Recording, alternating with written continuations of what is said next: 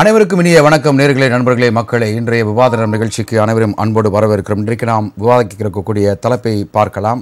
குறிப்பாக தமிழகத்தில் அதிக அளவில் ரவுடிகளை அவர்களுடைய மொழியிலேயே நாம் பேசி அவர்களை அடக்குவோம் என்கின்ற அடிப்படையில் சென்னை மாநகர கமிஷனர் திரு அருண்குமார் அவர்கள் மறைந்த ஆம்ஸ்ட்ராங் அவருடைய கொலைக்கு பின்பதாக பதவியேற்றக்கு பின் அவர் சொன்ன ஒரு வார்த்தை. அதன் அடிப்படையில் பல்வேறு விஷயங்கள் அதாவது பட்டியல் எடுக்கப்பட்டு த தமிழ்நாடு முழுவதும் டிஜிபி அவருடைய அறிவுறுத்தல் பேரில் சங்கர்ஜிவாலுடைய அறிவுறுத்தல் பேரில் தமிழகம் முழுவதும் இருக்க டாப் லிஸ்ட் ரவுடிஸ்லாம் எடுத்து பல்வேறு ஆக்ஷன்ஸ் அவங்க எடுத்தாங்க. இப்போ சமீபத்தில் தமிழகத்தில் திருவங்கடத்தை தொடர்ந்து காக்காத்தோப்பு பாலாஜி அவர்களும் என்கவுண்டர் செய்யப்பட்டிருக்கிறார். ஸோ தமிழகத்தில் அடுத்தடுத்து நடத்தப்படும் என்கவுண்டர்கள். ரவுடிகள் வேட்டையை தீவிரப்படுத்தி வரும் காவல்துறை. உத்தரப்பிரதேசத்தை போன்ற என்கவுண்டர் தொடர வேண்டும். போலீஸ் ஆதரவு கருத்தும் மனித உரிமை ஆர்வலர்கள் எதிர்ப்பு. குற்ற செயல்களை தடுக்க என்கவுண்டர்கள் தான் தீர்வா என்பது குறித்து இன்றைய விவாத நேர நிகழ்ச்சி பயணிக்க இருக்கிறது அதற்கு முன்பதாக ஒரு சில புள்ளி விவரங்கள். நம்ம ஆல் ஓவர் இந்தியாவில் எடுத்துக்கிட்டோம் அப்படின்னா எண்ணூற்று பதிமூன்று என்கவுண்டர்கள் நடத்தப்பட்டிருக்கிறது இன்க்ளூடிங் காக்காத்தோப்பு பாலாஜியும் சேர்த்து. அடுத்தபட்டு நூற்றி நாற்பத்தி மூன்று கேசஸில் போலீஸ் கஸ்டடியில் டெத்து நடந்திருக்கு. அதுக்கடுத்து அதிகமாக என்கவுண்டர் நடைபெறக்கூடிய மாநிலம் அப்படின்னு எடுத்துக்கிட்டோம்னா சத்தீஸ்கர். அதில் வந்து நூற்றி தொண்ணூற்றி ஒரு பேர் வந்து என்கவுண்டர் செய்யப்பட்டிருக்கிறார்கள்.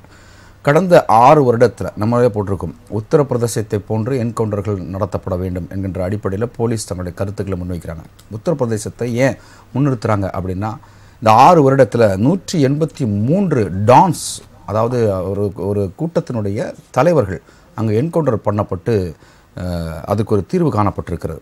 அப்போது பொதுமக்களிடையே காவல்துறையிடையும் ஒரு நம்பிக்கையை உருவாக்க வேண்டும். இடையில் இருக்கக்கூடிய இந்த ரவுடிகளுடைய அராஜகத்தையும் அவர்களுடைய பெருக்கத்தையும் கட்டுப்படுத்தணும் அப்படின்னா என்கவுண்டர் தான் தீர்வா என்கின்ற அடிப்படையில் மிகப்பெரிய ஒரு கேள்வி எழுகிறது. ஒரு பக்கம் என்கவுண்டர் நடத்தப்பட்டாலும் இன்னொரு பக்கம் காவல்துறையினர்கள் தங்களுடைய அத்தனை சாட்சியங்களையும் திரட்டி நம்முடைய நீதிமன்ற வளாகத்திற்குள்ளே அவர்களை கொண்டு போகும் பொழுது அங்கு ஒரு சில படுகொலைகள் நடத்தப்படுகிறது. அதிலிருந்து தப்பித்து போனோம் அப்படின்னா வந்து அவங்களுக்கு இருக்கக்கூடிய பண பலம் அரசியல் பலத்தை வைத்து அந்த கேஸிலிருந்து உடைச்சி வெளியே வந்துடுறாங்க. யார்? எந்த காவல்துறை அதிகாரி தங்களுக்கு எதிராக சாட்சியங்களை திரட்டினார்களோ அவருடைய உயிர்களுக்கும் அச்சுறுத்தல் ஏற்படுத்தப்படுகிறது. இது ஒரு புறம் இருக்கிறது. அடுத்து இன்னொரு புறம் காவல்துறையும் சரி வழக்கறிஞர்களும் சரி சேர்ந்து தண்டனை வாங்கி கொடுக்கிறார்கள். அது ஆயுள் தண்டனை இரட்டை ஆயுள் தண்டனை. முடிந்தவரை தூக்கு தண்டனை கூட வாங்கி தராங்க. ஆனால் இந்த இடத்துல என்கவுண்டர் என்பது தேவையான ஒரு விஷயமா அப்படின்னு கேட்கும் பொழுது யாருக்கு என்கவுண்டர் பயன்படுத்தப்படுகிறது என்பது தான் நம்ம முக்கியமாக பார்க்கணும். இன்றைய அழைப்பாளர்களை உங்களுக்கு நான் அறிமுகம் செய்து வைக்கின்றேன். இணைய மொழியாக தன்னை இணைத்துக் கொள்கிறார் உச்சநீதிமன்ற வழக்கறிஞர் திரு முத்துகிருஷ்ணன் அவர்களை வரவேற்கிறோம். மாலை வணக்கம் சார். மாலை வணக்கம் மாலை வணக்கம். அடுத்தபடி வணக்கம் சார். அடுத்தபடியா இணையமொழியாகவே தன்னை இணைத்துக் கொள்கிறார். முன்னாள் காவல்துறை ஓய்வு பெற்ற அதிகாரி மரியாதைக்குரிய திரு ராஜாராம் கிருஷ்ணன் அவர்கள் வணக்கம் சார். அடுத்தபடியாக அரங்கினில் தன்னை இணைத்துக் கொள்கிறார் பொதுமக்கள் உரிமை விழிப்புணர்வு இயக்கத்தினுடைய மாநில தலைவரும் சமூக ஆர்வலரும் மனித ஆர்வலருமான திரு அழகர் செந்தில் வழக்கறிஞர் அவர்கள். வணக்கம் சார். நன்றி. அடுத்தபடியாக அரசியல் விமர்சகர் மற்றும் சமூக ஆர்வலருமான மரியாதைக்குரிய திரு நந்தகுமார் அவர்கள். வணக்கம் சார். வணக்கம் கபில்.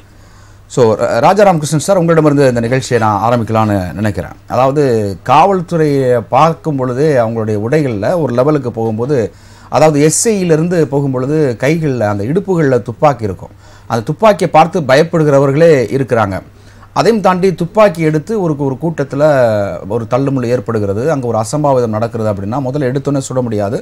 வானத்தை நோக்கி மூன்று முறை சுட வேண்டும். அதுக்கப்புறமேட்டு தான் சுடும் பொழுது மொட்டிக்கு கீழே தான் சுடணும் என்கின்ற ஒரு விஷயம் இருக்கிறது. அங்கே ஒரு பெரிய அசம்பாவிதம். ஒரு காவல்துறையினர் அங்கே தாக்கப்படும் பொழுதோ உயிருக்கு அச்சுறுத்தல் ஏற்படுத்தும் பொழுதோ மட்டும்தான் அந்த துப்பாக்கி குறி என்பது மொட்டிக்கு மேலே வருகிறது. இப்போ இந்த என்கவுண்டர் எல்லாம் திட்டமிட்டு செய்யப்படக்கூடிய ஒரு ஒன்றா அல்லது அவர்களுக்கு கண்டிப்பாக சொல்லக்கூடிய அந்த நபர்களுக்கு அந்த என்கவுண்டர் தான் தீர்வா? உங்களுடைய முதல் கருத்து. அதாவது என்கவுண்டர் அப்படிங்கறதுல எனக்கு உடன்பாடு கிடையாது. போலீஸ் என்கவுண்டர் அப்படிங்கிறது வந்து திட்டமிட்டு செய்யப்படக்கூடிய ஒரு செயல் அல்ல. அந்த சூழ்நிலையில காவல்துறையினர் வந்து அவங்களோட கடமையை அவங்க அக்யூஸ்ட பிடிக்கிறதுக்கு போறாங்க. குற்றம் சாட்டப்பட்டவரை பிடிக்கிறதுக்கு காவல்துறை போகும்போது ம். அவர் காவல்துறை மேல கொலவெறி தாக்குதல் நடத்துறப்போ அவங்க திருப்பி தாக்கக்கூடிய ஒரு சூழ்நிலை ஏற்படுறது ம். ரைட் ஆஃப் பிரைவேட் டிஃபென்ஸ் அதுலதான் இவங்க அவர் சுட்டார். இப்ப காக்கா தோப்பு பாலாஜி வந்து. போலீஸ் நோக்கி சுட்டு அந்த ஜீப்போட கண்ணாடி உடைஞ்சு போயிருக்கு. டோர்ல எல்லாம் ஓட்ட விழுந்திருக்குது. அப்ப சார் இங்க ஒரு சந்தேகம் வருது. என்ன அப்படின்னா பாலாஜியை திட்டமிட்டு பிடிக்கும். செய்யப்பட்ட- இல்ல சார் காக்காத்தோப்பு பாலாஜியை பிடிக்கும் பொழுது அவரிடம் துப்பாக்கி இருக்கா இல்லையான்னு வந்து செக் பண்ணலையா ஃபர்ஸ்ட் போலீஸ் அவர்கிட்ட கஞ்சா இருக்கிறத கஞ்சா இருக்கான்னு பாக்குறாங்க. கஞ்சா இருந்து கஞ்சா சீஸ் சீஸ் பண்றதுக்கு முன்னாடி அவர் வண்டி எடுத்துட்டு எஸ்கேப் ஆயிடுறாரு. அவர் உள்ள மறைச்சு வச்சிருக்கல இவங்க செக் பண்ணதுக்கு முன்னாடி அவர் கிளம்பிடுறாரு. கிளம்பி தப்பிச்சு ஓடையில தான் விரட்டிட்டு போறாங்க. அதனால அவர் உள்ள இருந்து சொல்றாரு. எனக்கு கிடைச்ச தகவல் சொல்றேன். அது எந்த அளவுக்கு உண்மைன்றது எனக்கு தெரியாது. சொல்லப்பட்ட தகவல். அதனால என்கவுண்டர் அப்படிங்கறதுல எனக்கு உடன்பாடு கிடையாது. அதாவது எல்லா என்கவுண்டருமே இவங்க காவல்துறை வந்து அவங்க பணியை செய்யும் போது. அவங்களோட கடமையை செய்யும் போது அந்த எதிரி வந்து கொலைவெறி தாக்குதல் நடத்தும் போது இவங்க திருப்பி சுடக்கூடிய சூழ்நிலை ஏற்படுது. நீங்க சுட்டிங்கல்ல கால்ல சுடணும் வானத்தை பாக்கி சுடணும். அது வந்து எங்கன்னா ஒரு கூட்டத்தை கலைக்கிறப்போ. இது வந்து அவன் நேர நம்மள சுடுறப்போ நம்ம தலையில விட்டுறப்போ நம்ம வானத்தை நோக்கியும் காலை நோக்கி சுட்டு இருக்க முடியாது. அது சூழ்நிலையில் இருக்கு. இப்போ இந்த தற்காப்பு அப்படிங்கிறது உங்களுக்கும் இருக்கு. எல்லாருக்குமே இருக்கு. தன்னை நோக்கி ஒரு கொலைவெறி தாக்குதல் வர்றப்போ அது தடுக்கலன்னா தான் கொலை செய்யப்படுவோம். தன்னோட உயிர் போயிடும். அப்ப அதை தன்னை காத்துக்கிறதுக்காக திருப்பி தாக்குறது. என்கவுண்டர்னு சொல்றோம். Okay okay. நீங்க வந்து தங்க இப்ப என்னை கூட தற்காத்து கொள்வது கூட வந்து ஒரு உரிமை இருக்குன்னு சொல்றீங்க. ஆனா காவல்துறை வந்து தற்காத்து கொள்ள அவங்க கையில துப்பாக்கி இருக்கனால என்கவுண்டர் பண்ணிடுறாங்க. இப்ப எங்க கையில துப்பாக்கி கிடையாது. எனக்கு கிடைக்கக்கூடிய ஒரு ஆயுதங்கள் ஒரு கல்லோ ஒரு ஒரு இரும்போ ஒரு ராடோ இருக்கும்போது என்னை ஒருத்தர் தாக்கு மூர்க்கமாக தாக்கம் வருகிறார். நான் அவரை தலையில அடிச்சிடறேன். அவர் இறந்துறாரு பட் தலையில அடிச்சா வந்து அது வந்து அஃபென்ஸ் கேஸ்னு சொல்லிட்டு என்னோட உயிரை நான் அப்போ தற்காத்து கொள்ள உங்க- இருக்கும் பொழுது நீங்க நீதிமன்றத்துல கொண்டு போய் நிப்பாட்டுறீங்களா? அப்ப காவல்துறைக்கு ஒரு நியாயம் ஒரு பொதுமக்களுக்கு ஒரு நியாயமான ஒரு கேள்விதான் இருக்கு. ரெண்டு வழக்குகளை சொல்றேன் கேளுங்க. ம். ஞாயிறுன்னு ஒரு ஊர் இருக்கு. எங்க இருக்கு? ரெட் ஹில்ஸ் பக்கத்துல. அங்க ஒரு பெண்மணி வந்து வயசுக்கு வந்த பெண்ணு வந்து இயற்கை உபாதையை கழிக்கிறதுக்காக போறாங்க. அங்கெல்லாம் வந்து வீட்டுல இருக்க இதுல தனிப்பட்ட முறையில கழிவறைகள் இருக்காது. அந்த புஷஸுக்கு இடையில தான் போய் அவங்க இயற்கை உபாதையை கழிக்கணும். அப்போ ஒரு ரவுடி அவங்க உள்ள வந்து கத்தியை காட்டி அந்த பொண்ணை வந்து ரேப் பண்ணதுக்கு முயற்சி பண்றான். அந்த பொண்ணு என்ன பண்றாங்க? கத்தியை பிடிங்கி அவனை வெட்டி கொண்டு அந்த கேஸ்ல கொலை வழக்கு பதிவு செய்யப்பட்டாலும் ஆக்ஷன் டிராப் செய்யப்பட்டது. அதே மாதிரி மதுரையில ஒரு தாய் வயதுக்கு வந்த பெண் கணவர். அதாவது தாய் தகப்பன் பெண்ணு. இந்த கணவர் வந்து குடி போதையில எப்போதும் அவர் மனைவியை அடிச்சுக்கிட்டே இருக்காரு. ஒரு நாள் குடி போதையில தான் பெத்த பெண்ணையே கற்பழிக்க போறாரு. உடனே தாய் என்ன பண்றாங்க? வீட்டுல இருக்க அருவாளை எடுத்து அவரை ஒரே வெட்டா வெட்டி கொண்டுறாங்க ம். இந்த வழக்குலயும் எஃப்ஐஆர் போடப்பட்டு ஆக்ஷன் டிராப் பண்ணப்பட்டது. அதனால வந்து ரைட் ஆஃப் பிரைவேட் டிஃபென்ஸ் அப்படிங்கிறது எல்லாருக்கும் உண்டு. காவல்துறை துப்பாக்கி ஏன் கொடுத்திருக்காங்கன்னா அவங்க ஹேண்டில் பண்ணக்கூடிய ஆட்கள் எல்லாம் வந்து. கிரிமினல்ஸ் அவங்க இவங்களை தாக்கிடக்கூடாது அப்படிங்கிறதுக்காக தான் இவங்களுக்கு வச்சிருக்காங்க அதை.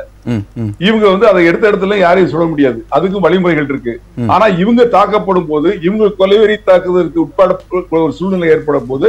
அவங்க திருப்பி தாக்கக்கூடிய ஒரு சூழ்நிலை ஏற்பட்டுதான் ஆகுது. ஓகே கேஸ் ஆஃப் அதனால வந்து அதாவது சந்தர்ப்ப ஓகே சார் சந்தர்ப்ப சூழ்நிலைகள் தான் வந்து தன் உயிரை தற்காத்துக் கொள்ளும் பொழுது அவர்களுக்கு சட்டம் சாதகமாக இருக்கிறது. எஃப்ஐஆர் இருந்தாலும் வித்ட்ரா பண்ணிடலாம் வித்ட்ரா பண்ணியிருக்கிறாங்க அப்படின்னு சொல்லி ரெண்டு கேஸ் சொன்னீங்க. அப்படியே இணைப்பில் இருங்க நம்ம தொடர்ந்து பேசலாம். அடுத்தபடியாக இணைமொழியாக இருக்கக்கூடிய உச்சநீதிமன்ற வழக்கறிஞர் திரு முத்துகிருஷ்ணன் அவர்கள் உங்கள்கிட்ட வைக்கக்கூடிய ஒரு கேள்வி என்ன அப்படின்னா நான் அதே கேள்வி தான் வந்து மரியாதைக்குரிய ராஜாராம் கிருஷ்ணன் அவங்கள்ட்ட வச்சேன்.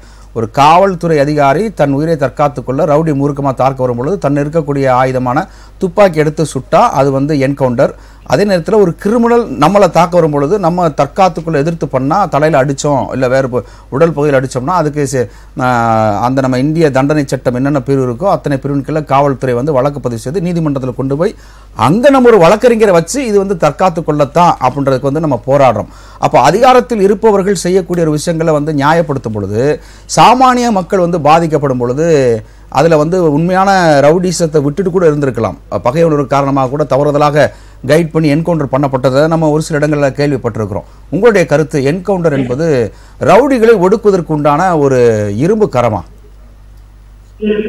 ரவுடிகளை ஒதுக்க ஒதுக்கக்கூடிய இரும்பு கரம் ஒன்றும் சொல்லலாம். தப்பே இல்லை அது வந்து. அதாவது என்கவுண்டர் வந்து உள்ளபடியே தவறான செய்தி தான் அது தவறான செயல் தான் அது. அதே சமயத்துல என் உயிரை காப்பாத்துறதுக்கு நான் என்கவுண்டர் பண்ணணும்னா இல்லையா இப்ப உத்தரப்பிரதேசத்துல. ஒரு பெரிய ரவுடி அவர் வந்து ஒரு எட்டு போகும்போது போலீஸ அரெஸ்ட் பண்ண போகும்போது கொன்றாங்க முலாசுமி யாதவ் கட்சியை சேர்ந்தவர் அவரு.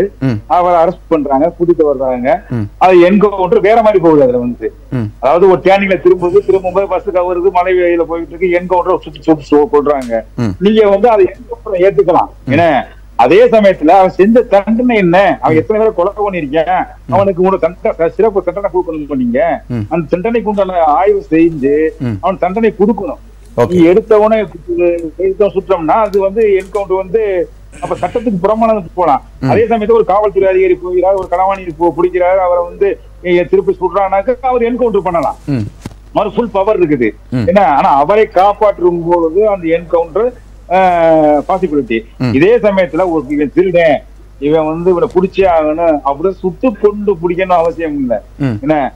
அவனை பிடித்து கொண்டான் கொண்டாந்து சிறையில நிப்பாட்டி ம். அவனுக்கு தண்டனையை வாங்கி கொடுக்க வேண்டும் ம் அதுக்கு அதுதான் உண்மையான தீர்வு அதுக்கு. நீங்க வந்து ஒரு திருடனை பிடிக்கிறதுக்காக வந்து நான் திருட்டு தொழில அவன் வந்து திருடன் வந்து பிடிக்க சுட்டுறாங்க நம்ம சுட முடியுமா அது என்கவுண்டர் எந்த நேரத்துக்கு பயன்படுத்த பயன்படுத்த வேண்டுமோ ஒரு சூழலை பொறுத்து. அந்த நிலைமையை பொறுத்து. நடக்கக்கூடிய சம்பவத்தை பொறுத்து. அதை வைத்து தான் இந்த என்கவுண்டர் உறுதி செய்யப்பட வேண்டும் இதுதான் என்னுடைய உறுதியான தீர்ப்பு. சரி நீங்க ஒரு உச்சநீதிமன்ற வழக்கறிஞராக இருக்கீங்க. பல இதே போல பல வழக்குகள் நீங்க பார்த்திருப்பீங்க. பல வழக்குகளை சந்திச்சிருப்பீங்க. நிறைய வழக்கு. நிறைய வழக்கு நேர பார்த்திருக்கோம் நேர இது பண்ணிருக்கோம். ஏன் இப்ப லாஸ்ட் காலத்துல ஒரு ஒரு லாஸ்ட் மந்த்ல வந்து சிவகங்கையிலே ஒரு நாலு பேர் கொலை பண்ணவன என்கவுண்டர் பண்ணிருக்காங்க. தெரியுமா உங்களுக்கு? நான் சிவகங்கை ஏற்காம போயிருந்தேன். சிவ தமிழ்நாட்டுல உள்ள சிவகங்கை மாவட்டத்துல. அவன் காலைக்கே சுட்டிருக்காங்க நாலு கொலை பண்ணிருக்கேன். அவனை பிடிக்கவே முடியல ஏன் உள்ளூர் லோக்கல் போலீஸ் பிடிக்க முடியாதா என்ன? காவல்துறை அதிகாரி. கொஞ்சம் யோசிச்சு பாருங்க. உத்தரப்பிரதேசம் நடக்கிறது சம்பவம் வேற தமிழ்நாட்டுல நடக்கக்கூடிய சம்பவம் வேற. அதே சமயம் காஷ்மீர் நடக்கக்கூடிய சம்பவம் வேற நம்ம ஊரு காரைக்குடியில் நடக்கிற சம்பவம் வேற. அதனால சூழ்நிலை சந்தர்ப்ப சூழ்நிலை சுற்றுப்புற சூழ்நிலை நாட்டின் நிலைமை ஒவ்வொரு துறையிலையும் ஒவ்வொரு ஒவ்வொரு துறையிலையும் ஏற்படக்கூடிய தட்பவெட்ப சூழ்நிலை சுற்றுப்புறம் அதாவது தட்பவெப்ப சூழ்நிலைன்னா என்னன்னாக்க காஷ்மீர்ல ஒரு சூழ்நிலை இருக்கும் பெங்களூர் சூழ்நிலையா இருக்கும் டெல்லியில ஒரு சூழ்நிலையா இருக்கும். அந்த அந்த சூழ்நிலையை பொறுத்தவரை. அதே சமயத்துல எந்த இடத்துல எப்படி பண்ணணுமோ அதுதான் என்கவுண்டர் என்ன எல்லாத்துக்கும் என்கவுண்டர் பண்ண முடியாது பண்ணவும் கூடாது. தமிழகத்தில் நடப்பது என்கவுண்டர்ங்கிறது வந்து நான் ஏத்துக்கவே முடியாது. என்ன அப்பனா வந்து உங்க உங்களுடைய அரசு வந்து கைது பண்ண முடியாது. அப்படிதானே அர்த்தம். க- கைது பண்ணி கோர்ட்டில் நிறுத்த முடியாது தண்டனை வாங்கி கொடுக்க முடியாது. அதானே அர்த்தம். அவர் டிஜிபி சொல்றாரு அப்படின்னா உங்க வழியை நாங்க எடுத்துக்கிடுவோம் அப்படின்னா அது எந்த வழியில ஏத்துக்க முடியும்? அப்புறம் உங்க காவல்துறை உங்க அதிகாரத்தை அதிகார அதிகார இது வந்து ஏ- ஏத்துக்க முடியாது. உங்களால முடியாது எதுவுமே இல்ல. உங்களால முடியாது எதுவுமே இல்ல. அத வந்து நல்ல இன்னும் கொஞ்சம் யோசிச்சு பாருங்க. அதாவது என்கவுண்டர் போட்டா மட்டும் திருடன் வந்து பயப்பட மாட்டேன். என்ன ஒருத்தன் செய்யணும்னு முடிவு பண்ணிட்டேன் அப்படின்னா. அதை முடிச்சுட்டே ஆகுவேன். ராஜீவ்காந்தி கொலை பண்ணலையா? ராஜீவ்காந்தி கொலை பண்ணது அத்தனை பேர் என்கவுண்டர் போட வேண்டியானே பிடிக்க முடியாம இருந்துச்சு ஏன் செத்துக்கு முன்னாடி நிப்பாட்டி அவனை விடுதலை வாங்கி கொடுத்திய? அதை கொஞ்சம் யோசிச்சு பாருங்க. என்கவுண்டர்ங்கிறது வந்து இப்ப என்ன இதே சமயம் என்னைய சுடுறான் விட்டு அப்படின்னா. நான் துப்பாக்கி வச்சிருக்கேன் அப்படின்னா சுடலாம் தட் இஸ் என்கவுண்டர் ஏன்னா எனக்கு பாதிப்பு வருது. ஒரு அரசு அதிகாரி ஒரு ஒரு திருடனை பிடிக்க போறாரு. திருடனை பிடிக்கும் போது என்ன பண்ணிட்டாங்க அப்படின்னாக்க அவன் திருடன் திரும்பி அவன் சொல்றேன். அப்புறம் என்கவுண்டர் அவன் பண்ணுவாங்க. அது get permission to higher officer என்ன? அது மாதிரி போகலாம். அது என்கவுண்டர் அது வந்து உங்களுக்கு வித்தியாசம் இல்ல. இதே சமயத்துல கொஞ்சம் கொலை பண்ணிருக்கேன் அவன் பத்து பேர் கொலை பண்ணிருக்கேன். தப்பிச்சு ஓடுறான்னா அவனை பிடிக்க முடியாது அவன காவல்துறையில. எவ்வளவு இன்னைக்கு டெக்னாலஜி எவ்வளவு டெக்னாலஜி இருக்குது. நீ கம்யூனிகேஷன் எவ்வளவு கம்யூனிகேஷன் இருக்குது? உட்கார்ந்த இடத்துல கண்டுபிடிக்கலாம் சார். இப்ப நான் உட்கார்ந்துக்கிட்டீங்க அப்படின்னா உட்கார்ந்து இடத்துல நான் எங்க இருக்கேன் என்ன பண்றேன் அவ்வளவு தெளிவா இருக்கு கம்யூனிகேஷன் கம்யூனிகேஷன் தெளிவா இருக்குது. என்ன அதனால வந்து என்கவுண்டர் வந்து ஏத்துக்க முடியாது. சுற்றுப்புற சூழ்நிலை தகுந்த மாதிரி பண்ணலாம். அப்ப திரு முத்துகிருஷ்ணன் அவர்கள் தூத்துக்குடியில் நடந்த அந்த பதிமூணு பேருடைய என்கவுண்டரையும் ஏத்துக்கிறீங்களா? அது எப்படி ஏத்துக்க முடியும்? அதுதான் பாயிண்ட் ஒரு நூறு பேருக்கு முன்னாடி என்கவுண்டர் நீங்க சொல்றீங்க தூத்துக்குடியில அதை எப்படி நீங்க ஏத்துக்க முடியும்? இல்ல சிவகங்கையில. கற்பழிச்சு கொண்ட நாலு பேரை ஒருத்தரை வந்து என்கவுண்டர் பண்றாங்க அப்படின்ற ஒரு விஷயத்த வந்து நீங்க சுட்டி காட்டுறீங்க ஆனா அதே நேரத்துல அங்கேயும் வந்து இட்ஸ் கால்ட் என்கவுண்டர் தான். ஒரு வருஷமா வந்து போராட்டம் நடத்தப்படுகிறது. இன்னைக்கு நான் அது அதுக்காக நான் ஏத்துட்டு பேசல. என்ன அதற்காக ஏத்துட்டு பேசல ஒரு லாஜிக் அங்க இருக்கு. வேதாந்தா நிறுவனம் வந்து பண்ண இல்ல சார் இல்ல ஒரு நிமிஷம் ஒரு நிமிஷம். வேதாந்தா நிறுவனம் வந்து செஞ்சு கொடுத்த வந்து தாமிரம் வந்து அவங்க ரெடி பண்ணி கொடுத்துட்டு இருந்தாங்க. இப்போ வந்து அதை அது நான் திருப்பி சொல்றேன். அந்த படுகொலையை வந்து நான் நியாயப்படுத்தல. அதுக்கு பின்னாடி இருக்கக்கூடிய ஒரு சம்பவங்களை நான் கோடிட்டு காமிக்கிறேன். இன்றைக்கு வந்து நம்ம வந்து இந்தியா வந்து தொண்ணூறு சதவீதம் தாமிரத்தை இறக்குமதி பண்ணிட்டு இருக்கு. அங்க ப்ராடக்ட் நிப்பாட்டினால. இப்போ உங்களுக்கு எனக்கு தான் அது லாஸ். ஆனா அந்த பதிமூணு உயிர்கள் நமக்கு மிகவும் முக்கியம். அதை நம்ம அதே நேரத்தில் விட்டு கொடுக்க மாட்டோம்.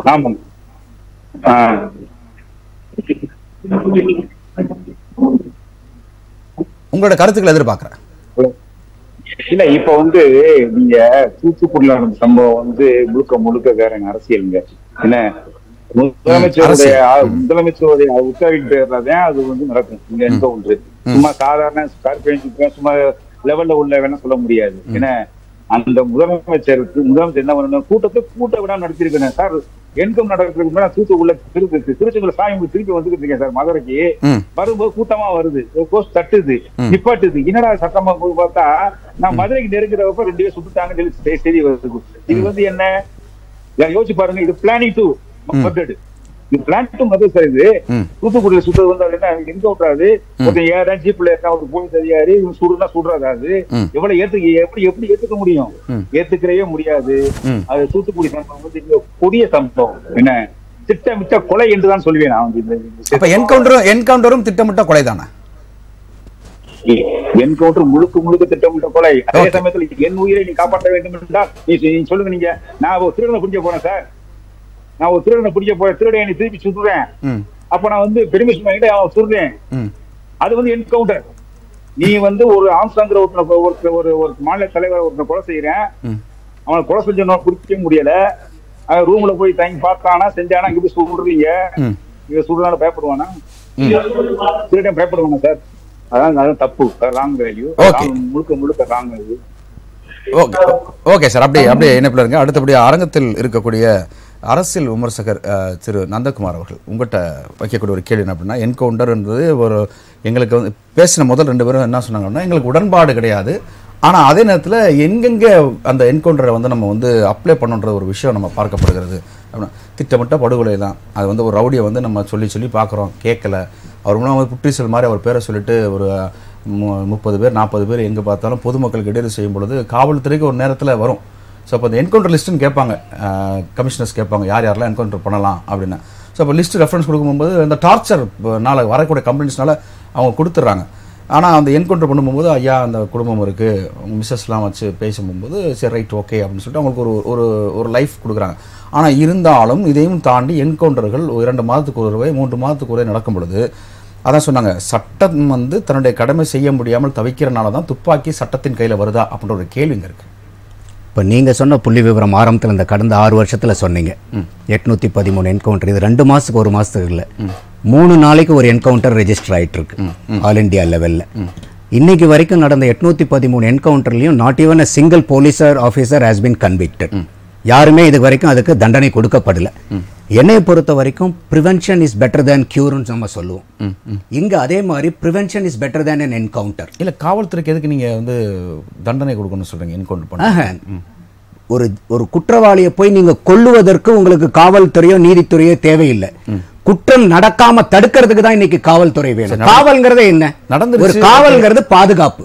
அப்ப அந்த பாதுகாப்பு நல்லா இருக்கிற பட்சத்துல தவறுகள் எப்படி நடக்கப்படலாம்?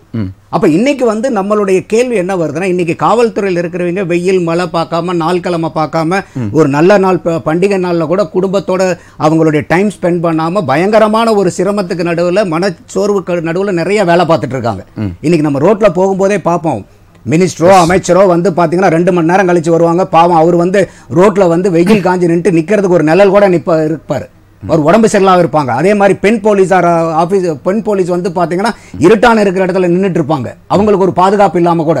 அந்த அளவுக்கு வந்து சிரமப்பட்டு வேலை பார்க்கறாங்க அவங்களுடைய வேலையை வந்து நம்ம குறைச்சு மதிப்பிடவே கூடாது. இல்ல நம்முடைய சொல்ல ஸ்டாலின் அவர்கள் அவர் என்ன சொல்லி வந்தவொடனே என்ன சொன்னார் அப்படின்னா வந்து இந்த மாதிரி வந்து அவங்க வந்து இந்த பாரா நிற்கும் பொழுது பெண்களை பயன்படுத்தக்கூடாது அப்படின்னு வந்து சொன்னாங்க. இன்னை வரைக்கும் பெண்களை பயன்படுத்தல. நான் வெறும் அந்த இடத்துல மட்டும் சொல்லல. பல பெண்களுக்கு இன்னைக்கு வந்து நம்ம ஒரு காவல் நிலையத்தில் இருக்க முடியுது அவங்க எந்த அளவுக்கு வந்து சொல்லனா துயரத்துக்கு ஆளாகப்படுறாங்கிறது நீங்க காவல்துறையில போய் கேட்டீங்கன்னா உங்களுக்கு தெரியும். இப்ப நான் சொல்ல வந்த பாயிண்ட் என்னன்னா prevention is better than cure எதுக்கு சொல்ல வரேன்னா இன்னைக்கு ஒரு குற்றம் தடு நடக்காம தடுக்கிறதுக்கு தான் இன்னைக்கு காவல் வேணும். சரி. காவல்துறையினுடைய முதல் கடமையை குற்றத்தை தடுத்து நிறுத்துவது. அப்படி போயிருச்சு, எல்லை மீறி. அப்ப எல்லை மீறி எந்த இடத்துல போகுதோ அந்த இடத்துல தான் நீதித்துறை வருது. அப்ப அந்த நீதித்துறை இந்த காவலையும் மீறி நடக்கக்கூடிய தவறுகளுக்கு தண்டனை கொடுக்கறதுக்கு தான் நீதித்துறை. ஆனா இன்னைக்கு என்ன நம்மனால பார்க்க முடியுதுன்னா காவல்துறைக்கும் நீதித்துறைக்குமே ஒரு தகராறு நடக்குது. அவங்களுக்குள்ளாரே ஒரு இன்டகிரேஷன் இல்ல. அப்போ இன்னைக்கு வந்து என்னன்னா உதாரணத்துக்கு இன்னைக்கு ஒவ்வொரு போலீஸ் வந்து இவ்வளவு லட்சம் பேருக்கு உதாரணத்துக்கு பத்து லட்சம் எனக்கு ஒரு கிளாரிஃபிகேஷன் கொடுத்துருங்க. காவல்துறைக்கும் நீதித்துறைக்கும் சொன்னீங்க. நீதித்துறையில வந்து நீதிபதிகளுக்கும் காவலர்களுக்குமா இல்ல வழக்கறிஞர்களுக்கும் காவலருக்குமா? நீங்க ஜுடிஷியல்னே நீங்க எடுத்துக்கலாம். அந்த ஜுடிஷியரி செக்டார் நீங்க எடுத்தீங்கன்னா அதுல ஜட்ஜ் அட்வொகேட் எல்லாமே included whoever is with relation to justice காவல் எடுக்கும்போது it is completely police department இது ரெண்டுமே என்டையர்லி டிஃபரெண்ட் நான் என்ன பார்க்கறேன்னா போலீஸ்னுடைய ரெஸ்பான்சிபிலிட்டி தப்பு நடக்காம தடுக்கிறதுக்கு தான் அவங்களுக்கு அவ்வளவு பவர் கொடுத்துருக்காங்க. அப்படியும் மீறி நடக்கிறதுக்கு உண்டான தண்டனையை கொடுக்கறதுக்கு நீதித்துறையை வச்சிருக்காங்க. ஆனா இன்னைக்கு தேவையான அளவுக்கு காவல்துறையும் தேவையான அளவுக்கு நீதித்துறையும் இருக்கான்னு பார்த்தா இல்ல. இல்ல ரெண்டுலயுமே சாவு இருக்கே. காவல்துறை வந்து கையில துப்பாக்கி எடுத்த என்கவுண்டர் நீதித்துறை நிரூபிச்சா தூக்கு தண்டனை. ரெண்டுமே வந்து டெத்தை நோக்கி தானே போகுது. இல்ல நீங்க வந்து ஒரு நீதித்துறைங்கும் போது அது சட்டத்துக்கு உட்பட்டு இந்திய நாட்டுல நம்மளுடைய செக்ஷன்ஸ் பிரகாரம் என்னென்னலாம் இருக்கோ அது குற்றங்கள் நிரூபிக்கட்டா நீங்க வந்து குற்றங்கள் நிரூபிக்கப்படுற வரைக்கும் அவர் வந்து நிரபராதி தான் is innocent till is found guilty அப்போ அந்த மாதிரி இருக்கிற இடத்துல வந்து நீதித்துறைக்குன்னு ஒரு வேலை இருக்கு காவல்துறைக்குன்னு ஒரு வேலை இருக்கு. இப்போ என்ன பண்றீங்க? என்கவுண்டருங்கிற சார்புல நீங்க முதல்லயே கேட்ட மாதிரி என் கையில துப்பாக்கி இருக்குதுங்கிறதுக்காக நானே தண்டனை கொடுக்கறதுக்கு என்ன இருக்கு? எந்த இடத்துலயும் ஒரு மனிதனுடைய உயிரை எடுக்கிறதுக்கு யாருக்குமே உரிமை இல்லை. அது காவல்துறையா இருந்தாலும் சரி. எந்த இடத்துலயும் அது இல்ல. அப்ப என்னன்னா இந்த இடத்துல இப்ப உதாரணத்துக்கு இப்ப நிதி ஆயோக் வந்து ஒரு ரிப்போர்ட் சப்மிட் பண்றாங்க ரெண்டாயிரத்தி பதினெட்டுல. ஸ்ட்ராட்டஜி பேப்பர்னு சப்மிட் பண்றாங்க.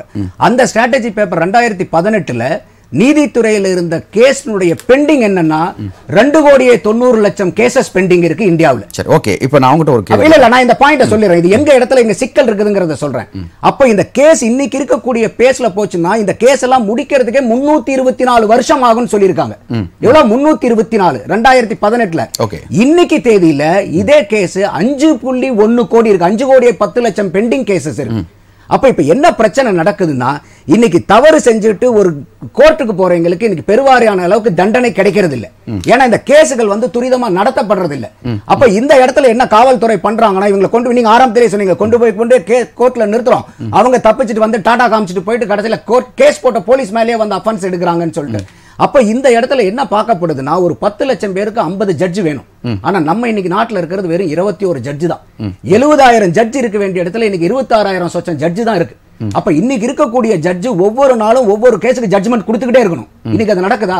கிடையாது. அப்போ ஜட்ஜில் பற்றாக்குறை. காவல்துறைக்கு வாங்க. பத்து லட்சம் பேருக்கு வந்து பாத்தீங்கன்னாக்கா உங்களுக்கு வந்து ஒரு லட்சம் பேருக்கு நீங்க வந்து சற்று ஏறக்குறைய இருநூத்தி இருபத்தி ரெண்டு காவல்துறை இருக்கணும். இன்னைக்கு ஆல் இந்தியா லெவல்ல நூத்தி ஐம்பத்தி ரெண்டு பேர் தான் இருக்காங்க. தமிழ்நாட்டுல அது நூத்தி ஐம்பத்தி எட்டு. அப்போ நீங்க வந்து இவ்வளவு பெரிய மக்கள் தொகை வச்சிருக்கக்கூடிய மாநிலமாகட்டும் ஒரு தேசமாகட்டும் தேவையான அளவுக்கு காவல்துறையோ தேவையான அளவுக்கு அந்த நீதித்துறையோ ஏன்னா இவங்க ரெண்டு பேரும் தான் நமக்கு பயங்கரமான பில்லர் இன்னைக்கு நீங்களும் நானும் பாதுகாப்பா வெளியே போகணும் நம்ம குடும்பம் பாதுகாப்பா வாழணும்னா காவல்துறை எந்த அளவுக்கு முக்கியமோ அந்த அளவுக்கு நீதித்துறையும் முக்கியம். ஆனா இந்த ரெண்டு துறையிலுமே இன்னைக்கு ஆட்கள் பற்றாக்குறை. இன்னைக்கு ஜூலை ரெண்டாயிரத்தி இருபத்தி நாலு பிரகாரம் இன்னைக்கு ஆல் இந்தியாவில் ஹைகோர்ட்ல முப்பத்தி ரெண்டு சதவீத ஜட்ஜுகள் வேகன்சி இருக்காங்க. சரி ஓகே ஓகே அப்போ இந்த கேசஸ் எல்லாம் வந்து இன்னைக்கு என்ன தண்டனை கிடைக்குது? எங்க கேஸ் நடக்குது? அப்ப அன்னைக்கே இருநூத்தி முப்பது முன்னூத்தி இருபத்தி நாலு வருஷம் ஆகும்னா இன்னைக்கு அஞ்சு கோடியே பத்து லட்சம் கேஸ் பெண்டிங் இருக்கும்போது இது என்ன ஆயிரம் ஆண்டு திட்டமா நம்ம வச்சுட்டு போறதா அப்போ? அப்ப இல்ல வரக்கூடிய எல்லா கேஸுக்கும் என்கவுண்டர் கேஸா வரது இல்லையா? இல்ல இல்ல நான் சொல்றது என்னன்னா இந்த இடத்துல நான் வந்து நீதித்துறையிலும் காவல்துறையிலும் இருக்கக்கூடிய கேப்ப சொல்றேன். Okay, இப்ப நீங்க சொல்றதுல மட்டும் இல்ல. அவங்களுக்கு வந்து எந்த இடத்துல நெருக்கடி வருது? இப்ப. நீங்க ரவுடிசத்தை பத்தி பேசுனீங்க. இல்ல இந்த இடத்துல தான் நான் ஒரு கேட்கிறேன். அதாவது டெல்லியில நிர்பயா வழக்குல தூக்கு தண்டனை கொடுத்தாங்க. தூக்கு தண்டனை நிறைவேற்றுறாங்க. இது இது இது இதை வந்து நீங்க சரின்னு சொன்னீங்கன்னா கோயம்புத்தூரில் இரண்டு பச்சிலம் குழந்தைகள் கடத்தப்பட்டார்கள். அதற்கு உடனடியாக அங்கே இருந்தக்கூடிய வடநாடு கமிஷன் அங்கே எஸ்பியை வந்து உடனடியாக அடுத்த நாளே என்கவுண்டர் பண்ணாங்க. அடுத்தடுத்த நாள் என்கவுண்டர் பண்ணாங்க. ஸோ இது சரினா இதுவும் சரிதானா? இல்லை. ஒரு விசாரணை நீதிக்குன்னு உட்பட்டு அதில் அதாவது கண்ணால் பார்ப்பதும் போய் காதால் கேட்பதும் போய் தீர விசாரிப்பதே மெய். அப்ப இந்த நீதித்துறையின் வேலை என்னன்னா தீர விசாரிப்பது. நீங்க என்கவுண்டர்ங்கிறது வந்து இப்ப உதாரணத்துக்கு நீங்க வந்து என்கவுண்டர் எடுத்து எடுத்தீங்க. என்கவுண்டர் எடுத்து கொடுத்துட முடியாது? ஹையர் அஃபிஷியல்கிட்ட போய் அதை சப்மிட்மெண்ட் பண்ணி அவங்க வந்து அதிகாரப்பூர்வமாக அரசு இலச்சனையோட கையெழுத்து போட்டு கொடுத்தா தானே பண்ண முடியும்? காவல்துறை நண்பர் சொன்னார் அவர் வந்து எங்களை சுட வரும்போது தான் நாங்க சுட்டோம். இப்ப எல்லாம் இந்த பர்மிஷன்லாம் வாங்கிட்டு அவன் என்ன சுடுவான்னு வச்சு நெஞ்சுக்கு நேரா காமிச்சிட்டு இருந்து அதுக்கப்புறம் என்கவுண்ட் பண்றீங்களா? இன்னைக்கு முக்காவாசி என்கவுண்டர் வந்து it is an orchestrated encounter அப்போ என்ன ஆகுதுன்னா இது வந்து வந்து புரோட்டோகால் இருக்கு. அதாவது என்ன அப்படின்னா நீங்க வந்து ரவுடிகளை வந்து நீங்க தீவிரமாக வேட்டையாடும் பொழுது டாப் டென் லிஸ்ட் எடுப்பாங்க. உங்களுடைய உங்களுடைய உயிருக்கு ஆபத்து ஆனால் நீங்க வந்து சுடுவதற்கு உங்களுக்கு உண்டான ரைட்ஸ் இருக்கு. அதை தான் கேட்கறேன் இன்னைக்கு வந்து ஆம்ஸ்டாங்கினுடைய வழக்கை எடுத்துங்க. திருவேங்கடம் என்கவுண்டர் பண்ணார். அப்போ சரண்டர் ஆன திருவேங்கடம் அவர் வந்து ஓடி போக வேண்டிய காரணம் என்ன? அவர் வந்து ஒரு பாத்ரூம் நிறுத்துறாங்கன்றாங்க. குடோனுக்காக காமிக்க கூட்டு Correct. போன இடத்துல தான் உள்ள போயிட்டு. அப்ப அவருக்கு கையில எங்க இருந்து துப்பாக்கி வந்துச்சு? ஓடுறவருக்கு எங்க இருந்து துப்பாக்கி வந்துச்சு? இல்ல, அந்த- தப்பிச்சு ஓடுற ஆளு எந்த இடத்துல வச்சு துப்பாக்கி இருக்குன்னு சொல்லிட்டு தேடி போய் கண்டுபிடிச்சு எடுத்து சுட்டாரா? இல்ல அதாவது ஆயுதங்கள் பதுக்கி வைக்க இருக்கிற இடத்த காமிக்கிறதுக்காக கூட்டு போன இடத்துல தான் ஆயுதம் இவர்கிட்ட வந்தானே எடுத்து போலீஸ் அட்டாக் இல்ல இல்ல. இவ- இவங்க வந்து அவர் ஆயிரம் கொண்டு போக வேண்டிய இடம் வந்து வேற. இவங்க தப்பிச்சு போய் அவங்க என்கவுண்டர் நடந்த இடம் கம்ப்ளீட்டா வேற. அந்த நீங்க வீடியோவை பாத்தீங்கன்னாவே தெரியும் ஒரு எம்டி பிளாட் அந்த பிளாட்டுக்கு நடுவுல இருக்கக்கூடிய ஒரு ஷெட்டுக்குள்ள அந்த என்கவுண்டர் நடக்குது. ஒரு என்கவுண்டர் நடந்திருந்தா அங்க எந்த அளவுக்கு முட்டல் மோதல் நடந்திருக்கும்? ஷெட் அப்படியே ஸ்டாண்ட் ஸ்டில் அப்போ இது முக்காவாசி வந்து அன்னைக்கு அதே இல்லாம உங்களுக்கு ஆயுதத்தை தேட பிடிக்க வேண்டியது. என்னைக்கு நீங்க பிடிக்கிறீங்க அதை? நான் காலையில வெடிய காலையில கூட்டு போறீங்களா அதுக்கு? அதுக்கு நாள் கிழமை நேரம் கிழமை இல்லையா? ன்றீங்களா? முக்காவாசி என்கவுண்டர் இட் இஸ். நம்ம அப்போ இதுல இல்ல இன்னொன்னு வந்து என்னன்னா நம்ம முதல் சுட்டு கருத்தை நம்ம தொடர்ந்து பேசலாம் அப்படி என்ன அடுத்தபடியா அரங்கத்தில் இருக்கக்கூடிய பொதுமக்கள் உரிமை விழிப்புணர்வுடைய மாநில தலைவர் சமூக ஆர்வலர் திரு அழகர் சந்தன் உங்கள்கிட்ட வைக்கக்கூடிய ஒரு கேள்வி என்ன அப்படின்னா ஏன் உங்களை வந்து மூன்று பேருடைய கருத்துக்களை வாங்கிட்டு உங்களை பேசணும் அப்படின்னா நீங்கள் வந்து காவல்துறையிலே அதிக நட்பு பாராட்டக்கூடிய ஒரு சமூக ஆர்வலர். சமூக ஆர்வலனாரை காவல்துறையினருக்கு பிடிக்காது. ஏன்னா வந்து நீங்கள் வந்து உண்மையை தான் பேசுவீங்க உண்மையை தான் செய்வீங்க. செய்யலைன்னா அது உடனே போர்க்கொடி தூக்கிங்க. இதனால இரண்டு முறை வந்து நீங்கள் பெரிய விபத்தை நீங்கள் சந்திச்சிருக்கிறீங்க. நல்ல விஷயத்துக்காக போராடி. உயிர் விபத்து மாதிரி. விபத்து மாதிரி. Okay it is planned okay இப்போ சொல்லுங்க. என்கவுண்டர் வந்து ரவுடிகளுக்கு ஒரு அருமருந்தா இல்லை வந்து அது ஒரு விஷமா? என்கவுண்டரை பற்றி என்கவுண்டரில் கேட்பதால் எடுத்துரைக்கிறேன். மண்ணில் வாழ்வதற்கு ஏற்படுகிறது அச்சம். மண்ணில் வாழ்வதற்கு ஏற்படுகிறது அச்சம். இன்று அநியாயங்கள் தொட்டுவிட்டது உச்சம். இன்று அநியாயங்கள் தொட்டுவிட்டது உச்சம். இதற்கு எல்லாம் காரணம் பல லட்சம். இதற்கெல்லாம் காரணம் பல லட்சம். நியாயமான நடவடிக்கை எதிர்பார்ப்பது மட்டுமே மிச்சம். நியாயமான நடவடிக்கை எதிர்பார்ப்பது மட்டுமே மிச்சம். இது ரெண்டு சைட்லயுமே பொருந்தும். நான் காமனாக தான் போட்டிருக்கேன். நான் எதுவும் போடல அதுவும் போடல. ஸோ அப்படி இருக்கும்போது போலீஸ் ஆதரவாக ஐம்பது சதவீதமும் மனித உரிமை ஆர்வலராக எதிர்ப்பு அதுக்கு எதிர்ப்பாக இருக்காங்க இல்லையா? அவங்களுக்கு ஆதரவாக ஐம்பது பர்சன்ட் நான் பேசணும். ஏன் அப்படின்னு கேட்டீங்கன்னா ஒரு நிமிஷம் நான் ஒரே ஒரு விஷயம் மட்டும் நான் உங்கள்கிட்ட நான் சொல்லணும். நேரில் பார்த்து கொண்டு இருக்க நேர்களுக்கு ஒரு விஷயம் சொல்ல வேண்டும். அதாவது நம்மளுடைய இந்த நிகழ்ச்சியில் உங்களுடைய கருத்துக்களை நீங்கள் எங்களுக்கு தெரியப்படுத்தலாம். தெரியப்படுத்த வேண்டிய தொலைபேசி இலக்கமன்கள் பூஜ்ஜியம் நான்கு நான்கு நான்கு இரண்டு பூஜ்ஜியம் பூஜ்ஜியம் ஒன்று ஒன்று ஆறு ஆறு என்கின்ற தொலைபேசி இலக்கமங்களில் நீங்கள் வந்து ஏழு நாற்பத்தைந்து மணிக்கு மேலே உங்களுடைய கருத்துக்களை தொலைபேசியில் நேரடியாக தெரியப்படுத்தலாம். அதாவது தமிழகத்தில் என்கவுண்டர் என்பது ரவுடிகளுக்கு உண்டான ஒரு தீர்வா என்பது குறித்து உங்களுடைய கருத்துக்களை எங்களுக்கு நேரடியில் நீங்கள் பேசலாம். ஓகே நம்ம தொடர்ந்து அழகு சிந்து சார்ட்ட பேசுவோம். சொல்லுங்கள் சார். ஸோ அப்போ வந்து என்னன்னா நான் இன்னைக்கு எல்லாமே என்கவுண்டர்ஸை பற்றும் மட்டும் ஒரு மூணு பேர் பேசினாங்க. இந்த என்கவுண்டர் நம்ம ரெண்டு கிளாசிஃபிகேஷனாக பிரிக்கணும். Original encounter fake encounter okay. அதனால தான் அந்த கருத்துக்கள் ரெண்டு பக்கமும் நின்று பேசுறாங்க. ஒரு எஸ் ஒரிஜினல் என்கவுண்டர் ஒரு போலீஸ் சுடுறாங்கன்னு வச்சுப்போம். அப்படி சுடும்போது அவங்களும் ஒரு ஹியூமன் தான். பயப்படுவாங்க. நம்ம ஒருத்தரை வந்து அடி அடிச்சாலே சில சமயம் நம்ம ஒரு நல்ல ஆளாக இருந்தால் இன்னசென்ட்டாக இருந்தால் நம்ம என்ன பண்ணுவோம்? கில்ட்டில் ஃபீல் போயிடுவோம். அடிச்சிருக்க தேவையில்லை இருந்தால திட்டிருக்க தேவையில்லை அப்படின்னு ஒரு ஃபீல் போவோம் அப்போ அன்னைக்கு சுட்டுட்டாங்கன்னா அன்னைக்கு அந்த போலீஸோட மனநிலை என்ன? என்னடா ஒருத்தர் சுட்டுட்டோம் அவன் அக்யூஸ்டாகவே இருக்கட்டும். சுட்டுட்டோமே அப்படின்ற ஒரு எண்ணத்துக்கு போயிடுவாங்க. கரெக்ட்டுங்களா? ஸோ அப்படி இருக்கும்போது அது ரவுடிங்களாக இருந்தால் கண்டிப்பாக பழி வாங்கக்கூடிய விஷயங்களும் இருக்கும். பயந்து பயந்து வாழ்கிற போலீஸும் இருக்காங்க. நான் இல்லைன்னு சொல்லல. ஆனால் என்னோட விஷயம் என்னன்னா இது வந்து என்கவுண்டர் பண்ணுறதுக்கு முன்னாடி இப்போ எப்படி ஃபாரின்லலாம் பார்த்தீங்கன்னா இதே இடத்துல மயக்க மருந்து கண்ணை வச்சு அவனை அடிக்கலாம். ஸ்ப்ரே அடிச்சு உண்மையாவே அவனை கொண்டு வந்து நீதிமன்றமாக நிற்க வைக்கணும் தான் அவங்களோட எண்ணமாக இருந்து உங்களை அட்டாக் பண்ண வரான்னா அட்டாக் பண்ணது கொன்னாதான் பண்ணணும்னு அவசியம் இல்லை. ஒரு மனிதர்களாக பேசுறேன். இப்போ எப்படின்னா ரெண்டு வகையில் பேசுறேன். அம்பியாவும் அந்நியனாவும் அந்நியன் படத்தில் வர மாதிரி நான் பேச வேண்டிய சூழ்நிலையில் நான் தள்ளப்பட்டிருக்கேன். நீங்கள் யாரா பேசுகிறீங்க இப்போ அம்பியா அண்ணியன் ரெண்டுமே வரும். ஏன்னு கேட்டீங்கன்னா இது ரெண்டும் எனக்கு உங்களோட டைம் சுருக்கமா இருக்கனால நான் ஒரு ஒரு பாயிண்ட்டை மாத்தி மாத்தி பேசும்போது சரி. இது அந்தந்த ஆளுங்களுக்கு புரிய ஆரம்பிச்சிடும் சரி. அப்ப அம்பியா இருக்கும்போது ஆமா அவன் பண்ண தப்பு சட்டப்படி தண்டனை கொடுக்கணும். கருட புராணத்துலயும் தண்டனை இருக்கு. ம். கருட புராணத்துல என்னென்ன தப்புக்கு என்னென்ன இருக்குன்னு கும்பிபாகம் ரௌரவம் நிறைய சொல்றாங்க. அப்பயே இருக்குது. ஆனா அது ஒரு பக்கம் இருந்தாலும் இன்றைக்கு சார் சொன்ன மாதிரி போலீஸ் எடுத்தோடனே சுட்டு தான் பிடிக்கணுமா? அப்படி கிடையாது. என்கவுண்டர் பண்ண பிளான் பண்ணணுமா? எப்படின்னு கேட்டீங்கன்னா எல்லா இடத்துலையும் என்கவுண்டர் பண்ணிடுறீங்க. நான் உண்மையாக சொல்றேன். ஒரு அக்யூசிங்லாம் வந்து எவ்வளவு பெரிய ரவுடியா இருந்தாலும் ஒரு வகையில் பார்த்தா அவனுக்கு பாவம். ஏன்னு கேட்டீங்கன்னா யாரோ ஒருத்தர் சுயநலத்துக்காக அவனை வளர்த்து விட்டாங்க.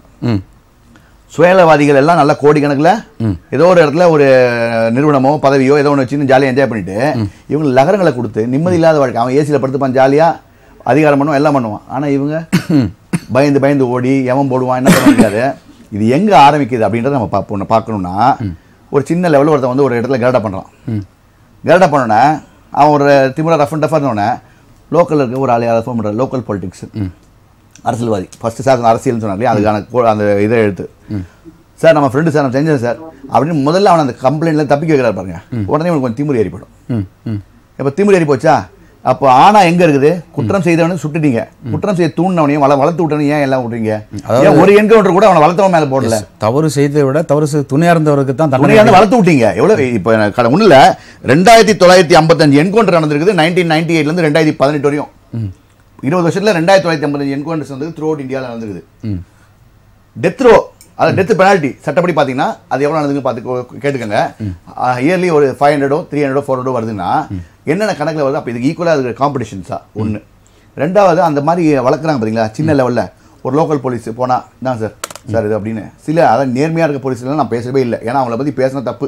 ஏன்னா அவங்க வந்து உயிரை துச்சமாக வந்துச்சு நிறையா என்கவுண்டர்ஸ் பண்ணி மக்களை காப்பாற்றிருக்காங்க ரவுடிங் அச்சுறுத்தல மக்களை காப்பாற்றணும் ஒரு டீச்சர் செயின் நடத்தான் கரடை பண்ணான். தொடர்ந்து அவன் கரட் ஆகிறான். மற்ற மக்களோட உயிருக்கு அச்சுறுத்தலாக இருக்கான்.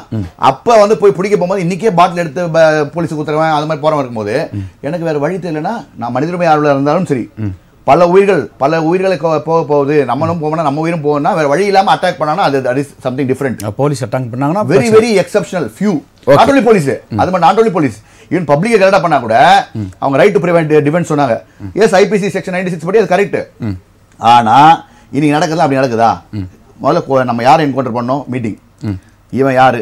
இவன் பின்புலம் என்ன? இவன் என்ன சாதி? என்ன மதம்? என்ன இனம்? என்ன அரசியல்? என்ன கட்சி? இவன் எது? இவன் பேக்க பேக்கப் யாரு? சார் இவன் வேணுமா வேணாமா? இது எங்கெங்கெல்லாம் அப்ரூவல் வாங்குறீங்க? இவன் வேணுமா வேணாமா யார் முடிவு பண்றது? இப்போ நான் என்ன அது யார் முடிவு பண்றது? இப்போ என்கவுண்டரில் வந்து ரியல் என்கவுண்டர் ஃபேக் என்கவுண்டர் எப்படி கண்டுபிடிக்கிறது?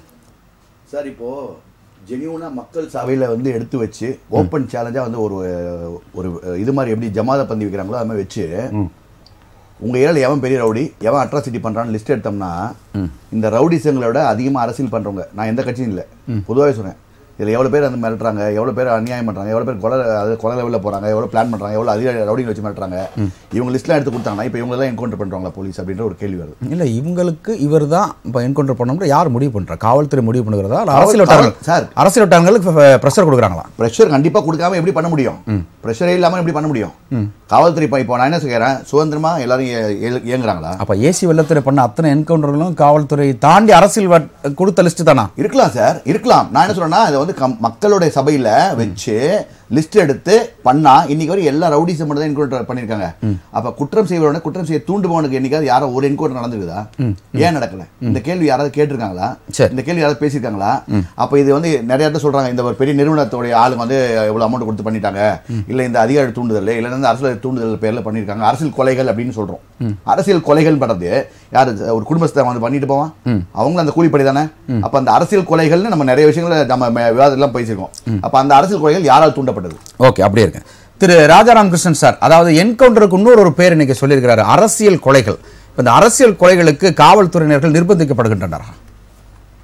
சார் அரசியல் கொலைகள் ரவுடிகள் பண்றாங்க. நான் காவல்துறை பண்ணதுன்னு சொல்ல. நீங்க அப்படியே டோட்டல் ஏதோ இல்ல என்கவுண்டர் என்கவுண்டர் பண்றதும் அரசியல்வாதிகள் தான் நிர்ணயிக்கிறாங்க. அப்படின்றீங்களா அதான் அவர் பாருங்க சார் அப்படி ஃபர்ஸ்ட் ஷாக் ஆனாரு அதுக்கு இல்ல சொல்றேன் நானும் அது அதை உங்களுக்கு கிளாரிபிகேஷன் கொடுத்துறேன். சொல்லுங்க ராஜாராம் சார். சார் என்கவுண்டர் பண்ணக்கூடிய பண்ணப்பட்ட எல்லா அக்யூஸ்டும் பாருங்க. இப்ப கடைசியா காக்காத்தப்பு பாலாஜி. அவர் பேர்ல 59 வழக்குகள் ம்.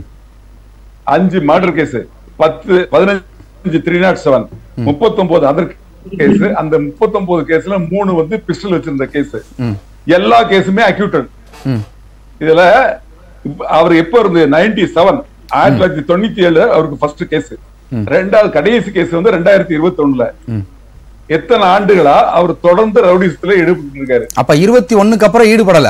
ஒரே ஒரு கேள்வி கேட்கலாமா? ஈடுபட்டு இருபத்தி ஒண்ணுல உள்ள போனவரு போன வருஷம் அவங்க அம்மா- கொடுத்த ஸ்டேட்மெண்ட் நேரத்தை கொடுத்தாங்க இல்லையா? அதை சொல்றாங்க போன வருஷம் ஆகஸ்ட் மாதம் தான் வெளியே வந்தாரு அப்படின்னு அவங்க அம்மா சொல்றாங்க. அப்படி வந்து ஒரு வருஷமா அவர் தலைமறைவா இருக்காரு. ஆந்திராவுல இருக்கிறாரு அப்படின்னு சொல்லிட்டு ஒரு தகவல். போலீஸ் அவங்க தேடிட்டு தான் இருக்காங்க. ஏன்னா இவரு எப்போதுமே துப்பாக்கி கையில வச்சிருப்பாரு. இவர் வந்து வடசென்னையை ஆட்டி வச்ச ஒரு ரவுடி. வடசென்னையில இவருக்கும் சம்பவம் செந்தில் ரெண்டு பேருக்கும் தான் போட்டி யாரு பெரிய ஆள் அப்படிங்கிற சம்போ சம்போ சந்து இவர் வந்து சம்பவம் சம்பவம் செந்தில். சம்பவம் செந்தில். ஓகே. அவருக்கு இவருக்கு தான் போட்டி. இவர் கார்ல போறாரு. தென் சென்னை இவர் வட சென்னையோட தாதா. தென் சென்னையோட தாதா வந்து சிடி மடி. ம். ரெண்டு பேரும் மவுண்ட் ரோட்ல கார்ல போகையில வெடிகுண்டு வீசுறாங்க. வெடிகுண்டு வீசி துப்பாக்கியால சுடுறாங்க. இவங்க எஸ்கேப் ஆயிடுறாங்க. ஆனா இவங்க இறங்கி பாக்குறப்ப தெரியுது சம்பவம் செந்திலும் ஸ்பாட்டுக்கு வந்தாரு. அவங்க ஆளுக்க தான் இதை பண்ணாங்க அப்படின்னு தெரிய வருது ஆக இப்- இப்படிப்பட்ட ஒருத்தர் இவரை கொலை செய்யணும். நீங்க சொன்னீங்க முதல்ல. அதாவது கமிஷனர்ட்ட பெர்மிஷன் வாங்கணும். ரிட்டனா எழுதி ஃபைல் மூவ் பண்ணணும் அப்படின்லாம் சொன்னீங்க. நான் காவல்துறையில முப்பத்தஞ்சு ஆண்டுகள் பணிபுரிஞ்சேன். அத மாதிரி எந்த அதிகாரியும் அதாவது நான் வந்து எந்த என்கவுண்டரும் பண்ணல. இன்றைக்கு வேண்டிட்டு எதுவும் நடக்கல. அந்த சூழ்நிலையில அது நடக்கிறதுல என்ன பண்ண முடியும்? தன்னை கொல்ல வரையில் கீழே இறந்து போறாங்க. அப்புறம் சார் வந்து ஒண்ணு சொன்னாங்க. அதாவது காவல்துறைக்கும் நீதித்துறைக்கும் போட்டி ரெண்டு பேருக்குள்ள சண்டை நிறைய பிரச்சனைகள் அப்படிங்கிற மாதிரி சொன்னாரு. ஒண்ணு தெரியுமா? என்கவுண்டர் முடிஞ்ச உடனே நேத்து எஃப்ஐஆர் போட்டு அதை விசாரணை நடத்த கொடுத்தே மேஜிஸ்ட்ரேட் தான்.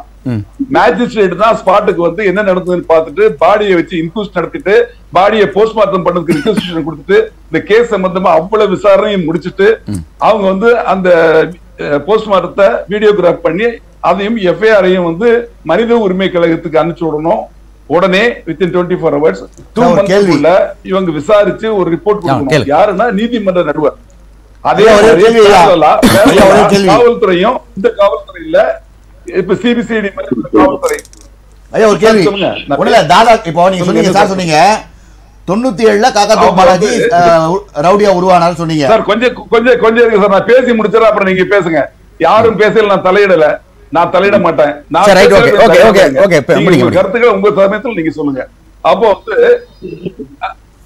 அதாவது வந்து நீதிமன்ற நடுவர் தான் அதை விசாரிக்கிறாங்க. விசாரிச்சு ரிப்போர்ட் அனுப்புறாங்க. அதே மாதிரி காவல்துறையில இந்த எந்த காவல்துறை சுட்டாங்களோ அவங்க இல்ல சிபிசிஐடி மாதிரி ஒரு துறையை வச்சு விசாரிச்சு அவங்களும் ஒரு அறிக்கையை கொடுக்குறாங்க. இந்த ரெண்டு அறிக்கையை சூர்தூக்கி பாக்கி பார்த்து அரசாங்கம் வந்து இது ஜஸ்டிஃபைடு அன்ஜஸ்டிஃபைடு அப்படின்னு முடிவு பண்ணி ஒரு ஜீவோ போடுவாங்க. கவர்மெண்ட் ஆர்டர் அது ஜஸ்டிஃபைடு அப்படின்னா அந்த பிரச்சனை அதோட முடிஞ்சது. அன்ஜஸ்டிஃபைடுனா அதுல சம்பந்தப்பட்ட அந்த போலீஸ் அதிகாரிகள் மீது கொலை குற்றம் வழக்கு பதிவு செய்யப்படும். கொலை குற்றத்துல வந்து கேஸ் நடக்கும். அதுல அவங்களுக்கு தண்டனை கூட கிடைக்கிறதுக்கு வாய்ப்பு உண்டு. சரி. அதனால காவல்துறை பண்ணதை காவல்துறையே இது பண்ணல. அத வந்து நீதித்துறை நடுவர் தான் விசாரிக்கிறாங்க. சரிங்க சார், இதுல- இதுல- இதுல- இதுல இதுல வந்து ஒண்ணு இருக்கு.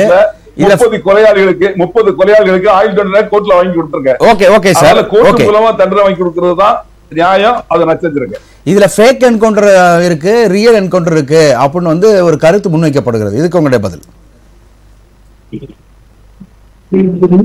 அதாவது எனக்கு தெரிஞ்சு என்கவுண்டர்ங்கிறது வந்து தவிர்க்க முடியாத சூழ்நிலையில அவங்க வந்து சுடக்கூடியதுதான் என்கவுண்டர் இதுல ஃபேக் என்கவுண்டர் ரியல் என்கவுண்டர் அப்படின்னு யாரு சொன்னாங்களோ அவங்ககிட்டயே நீங்க கேளுங்க. எனக்கு. தெரிஞ்சு என்கவுண்டர்ங்கிறது ஒண்ணுதான். காவல்துறை வந்து பிடிக்க போயில கடமையாற்ற போயில கொலைவெறி தாக்குதல் நடத்தினா திருப்பி தாக்கும் போது அவங்க இறந்து போறாங்க. அதுதான் என்கவுண்டர். நாங்க நினைச்சிட்டு இருக்கோம். அப்படிதான் எல்லாருக்கும் தெரியும். சரிங்க சார். சரிங்க சார் ஏதோ புதுசா ஒண்ணு சொல்றாங்க. அது சொன்னவங்களே நீங்க கேளுங்க. ஓகே. திரு முத்துகிருஷ்ணன் உங்கள்கிட்ட இதே கேள்வி தான் வைக்கிறேன். இப்போ காவல்துறை வந்து என்கவுண்டர் பண்ணும்போது ரியலா என்கவுண்டர் பண்ணுகிறது இருக்கு. அடுத்து வந்து இந்த திட்டமிட்டு செய்யறது வந்து ஒரு ஃபேக் என்கவுண்டரா இதுதான் இவங்க வைக்கக்கூடிய ஒரு பெரிய ஒரு கேள்வியா இருக்கு.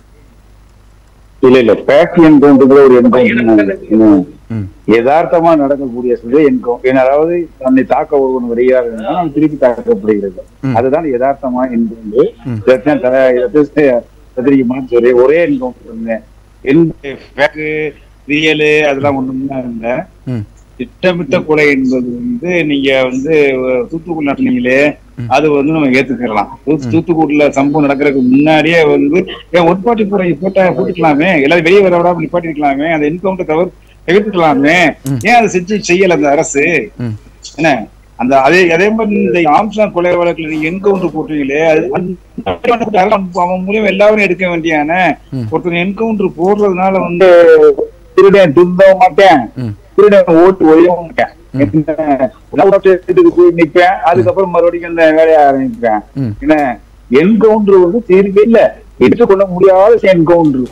அதான் உண்மை. இதுல ஃபேக்ட் ரியல் அப்படிலாம் ஒண்ணுலாம் இல்ல. சட்டம் தன் கடமையை செய்யும். என்ன கண்டிப்பாக. அது நாங்க ரொம்ப தெளிவா இருக்கிறது. அவர்களும் தெளிவா இருக்கிறது. வழக்கறிஞரும் தெளிவா இருக்கிறார்கள். நீதியரசரும் ரொம்ப தெளிவா இருக்கிறார்கள். இந்த இடப்பட்டுல இடப்படி இடையில நடக்கிறதுல நீ பெரிய ஆளா நான் பெரிய ஆளா இல்ல இப்படி பண்ண நல்லா இருக்குமா அப்படி பண்ண நல்லா இருக்குமாலாம் அதெல்லாம் வந்து முட்டாள்தனமானது முரட்டுத்தனமானது. சரி இப்போ இப்போ நான் நான் உங்கள்கிட்ட இன்னும் கொஞ்சம் வெளிப்படையாவே நான் கேள்வியை வைக்கிறேனே. அதாவது ரியல் என்கவுண்டர் என்பது கேங்கா இருக்கிறாங்க பிடிக்க போறாங்க.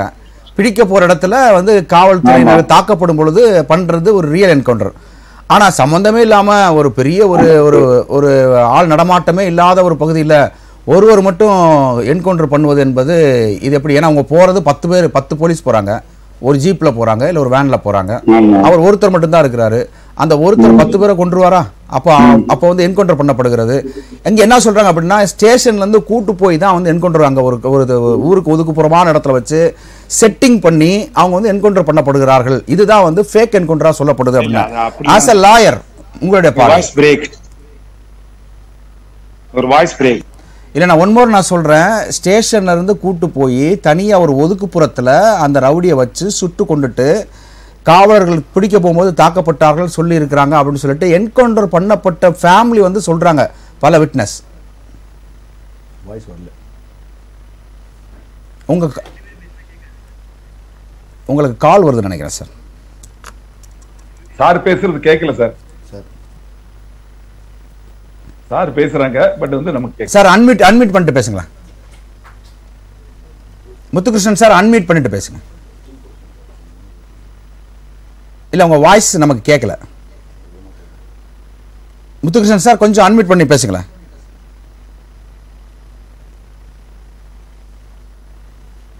சார் உங்க வாய்ஸ் எனக்கு ரீச் ஆகல. இல்ல சார் கேட்கலையே சார். இப்ப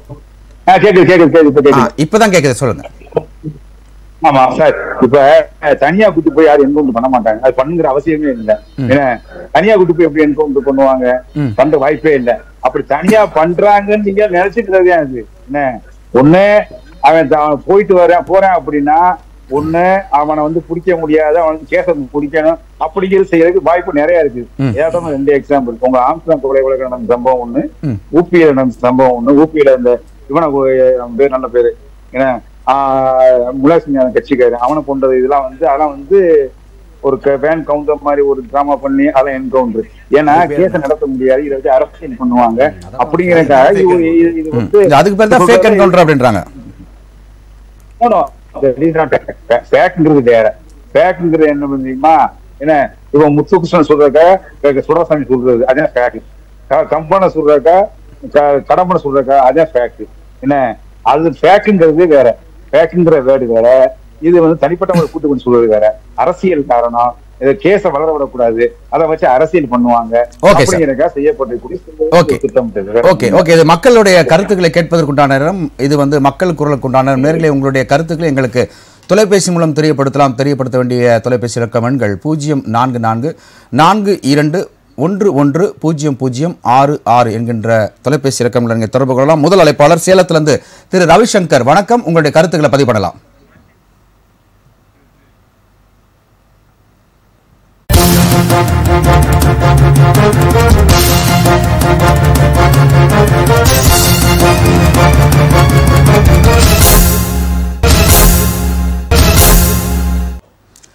இது மக்கள் குரலுக்கான நேரம். ரவிசங்கர் சேலத்திலிருந்து. வணக்கம். உங்களுடைய கருத்துக்களை பதிவு பண்ணலாம் வணக்கம் சார். வணக்கம் சார். உங்களுடைய கருத்துக்கள் என்ன? வணக்கம் சார். நான் ரவிசங்கர் சேரால் அதாவது ஒரு முள்ளு செடிய ஆரம்பத்திலே புடிங்கி போட்டீங்கன்னாக்கா அது பெரிய செடியாகி யாரையும் குத்தாது. இந்த சிறு குற்றங்கள் செய்யக்கூடிய ஆளை எல்லாரையுமே. போலீஸ் துறை ஆயிட்டும் அரசியல்வாதி ஆயிட்டும் வளர்த்து வளர்த்து வளர்த்து விட்டு அவங்க பெரிய ஆளாகி. ஒரு குற்றம் செய்யக்கூடிய என்கவுண்டர் போற அளவுக்கு கொண்டு போயிட்டாங்க அவங்கள. அந்த என்கவுண்டர் போற அளவுக்கு நீங்க. இந்த ஆளுங்களை அந்த அம்மாவே குழந்தையிலே என்கவுண்டர் பண்ணியிருந்தாக்கா இவங்க இவ்வளவு பெரிய என்கவுண்டர் போலீஸ்க்கு வேலை இருக்காது. அந்த மாதிரி ஆயிட்டாங்க. இன்னைக்கு நடக்கக்கூடிய குற்றங்கள் அத்தனையுமே இல்ல எந்த குழந்தையும் எந்த குழந்தையும் மண்ணில் பிறக்கும் போது நல்ல குழந்தை தான். நல்ல குழந்தைதான் அதான் அது வளர்றது வந்து அன்னை வளர்ப்பு. அன்னை அன்னையோட வளர்ப்பையும் தாண்டி தானே அவங்க போறாங்க. அன்னை வளர்ப்பினிலே நல்லவராகவும் தீவிரவாதம் அன்னை வளர்ப்பினிலே அப்ப அன்னை அன்னையே தண்டிக்கணும். நீ ஏமா இப்படி பையனை வளர்த்திருக்கீங்க? அப்படின்னு வந்து அன்னையை கண்டிக்கணும். அவங்க வந்து ரொம்ப செல்லமா வளர்த்துடுறாங்க ம். இந்த குழந்தை நமக்கு ஒரு பையன் ரொம்ப நாள் போட்டிருக்காங்க அது மாதிரிலாம் வந்துச்சு அது. இல்ல செல்லமா வளர்த்த குழந்தை எல்லாருமே என்கவுண்டர்ல போறது இல்லையே அது ஒவ்வொன்று போற ட்ராக் சேர சேரக்கூடிய சேர்க்கை தானே? நூத்தி நாற்பத்தி ரெண்டு கோடிகளை எல்லாருமே போட முடியாது. என்ன? அது சொல்லல நானு அஹ், இங்க போலீஸ்காரங்களுக்கு கண்டிப்பா தெரியும். இது இவன் குற்றவாளி இவன் திருடுறவன் முள்ள மாதிரி லாட்டி சிரிக்கிறவன் எல்லாம் தெரியும். இவங்க போய் பிடிக்கணும்னு என்ன இருக்கு. அவனை பிடிச்சி இழுத்துட்டு வரணும்னு என்ன இருக்கு. சரி. ஆனா செஞ்சிட்டாங்கன்னா. நைட் டைம்ல வீட்டுக்கு போகும்போது இந்த இந்த போலீஸ்காரர் தனியா போறாரு. அவருக்கு அந்த எந்த பாதுகாப்பு கிடையாது. அன்னைக்கு அவன் மரபாரது தாக்கினாங்கன்னா இந்த போலீஸ் பாதிச்சிருக்காரு இப்ப நீதி அரசர் சொல்றாரு அவர் சொல்லும்போது நான் பார்க்கும் போது வேதனையா இருக்குது. எல்லாருக்கும் மனசுல உத்வேகம் இருக்குது. அவங்க என்ன அடிக்கணும் உதைக்கணும் போகணும். இப்ப நான் இருக்கிற இடத்துல பாத்தீங்கன்னா சேலத்துல எவ்வளவோ பிரச்சனைகள் நடந்துட்டு இருக்குது. இது யாருமே பப்ளிக்ல வந்து கேட்க மாட்டேங்கிறாங்க. என்னன்னு கேட்டாக்கா போலீஸ் நம்ம மேல கேஸ் போட்டுறாங்க. அது யாருமே போடுறது இல்ல நான் நிறைய கேஸ் நானே எனக்கு பர்சனலா புடிச்சு கொடுத்துருக்கேன். ம். யாரு கேஸ் நம்மளெல்லாம் கூப்பிடுறது இல்ல. அவங்க அந்த அக்யூஸ புடிச்சோம்னா அக்யூஸ கூட்டு போயிடுறாங்க அவ்வளவுதான் நம்மள கூட இன்வால்வ் பண்ணிட்டு ஆனா இன்னும் ஒரு விஷயம் ஒன்று சொல்றேன் சார். ஒரு கடையில ஒருத்தர் மாமூல் கேட்டிருக்கான்.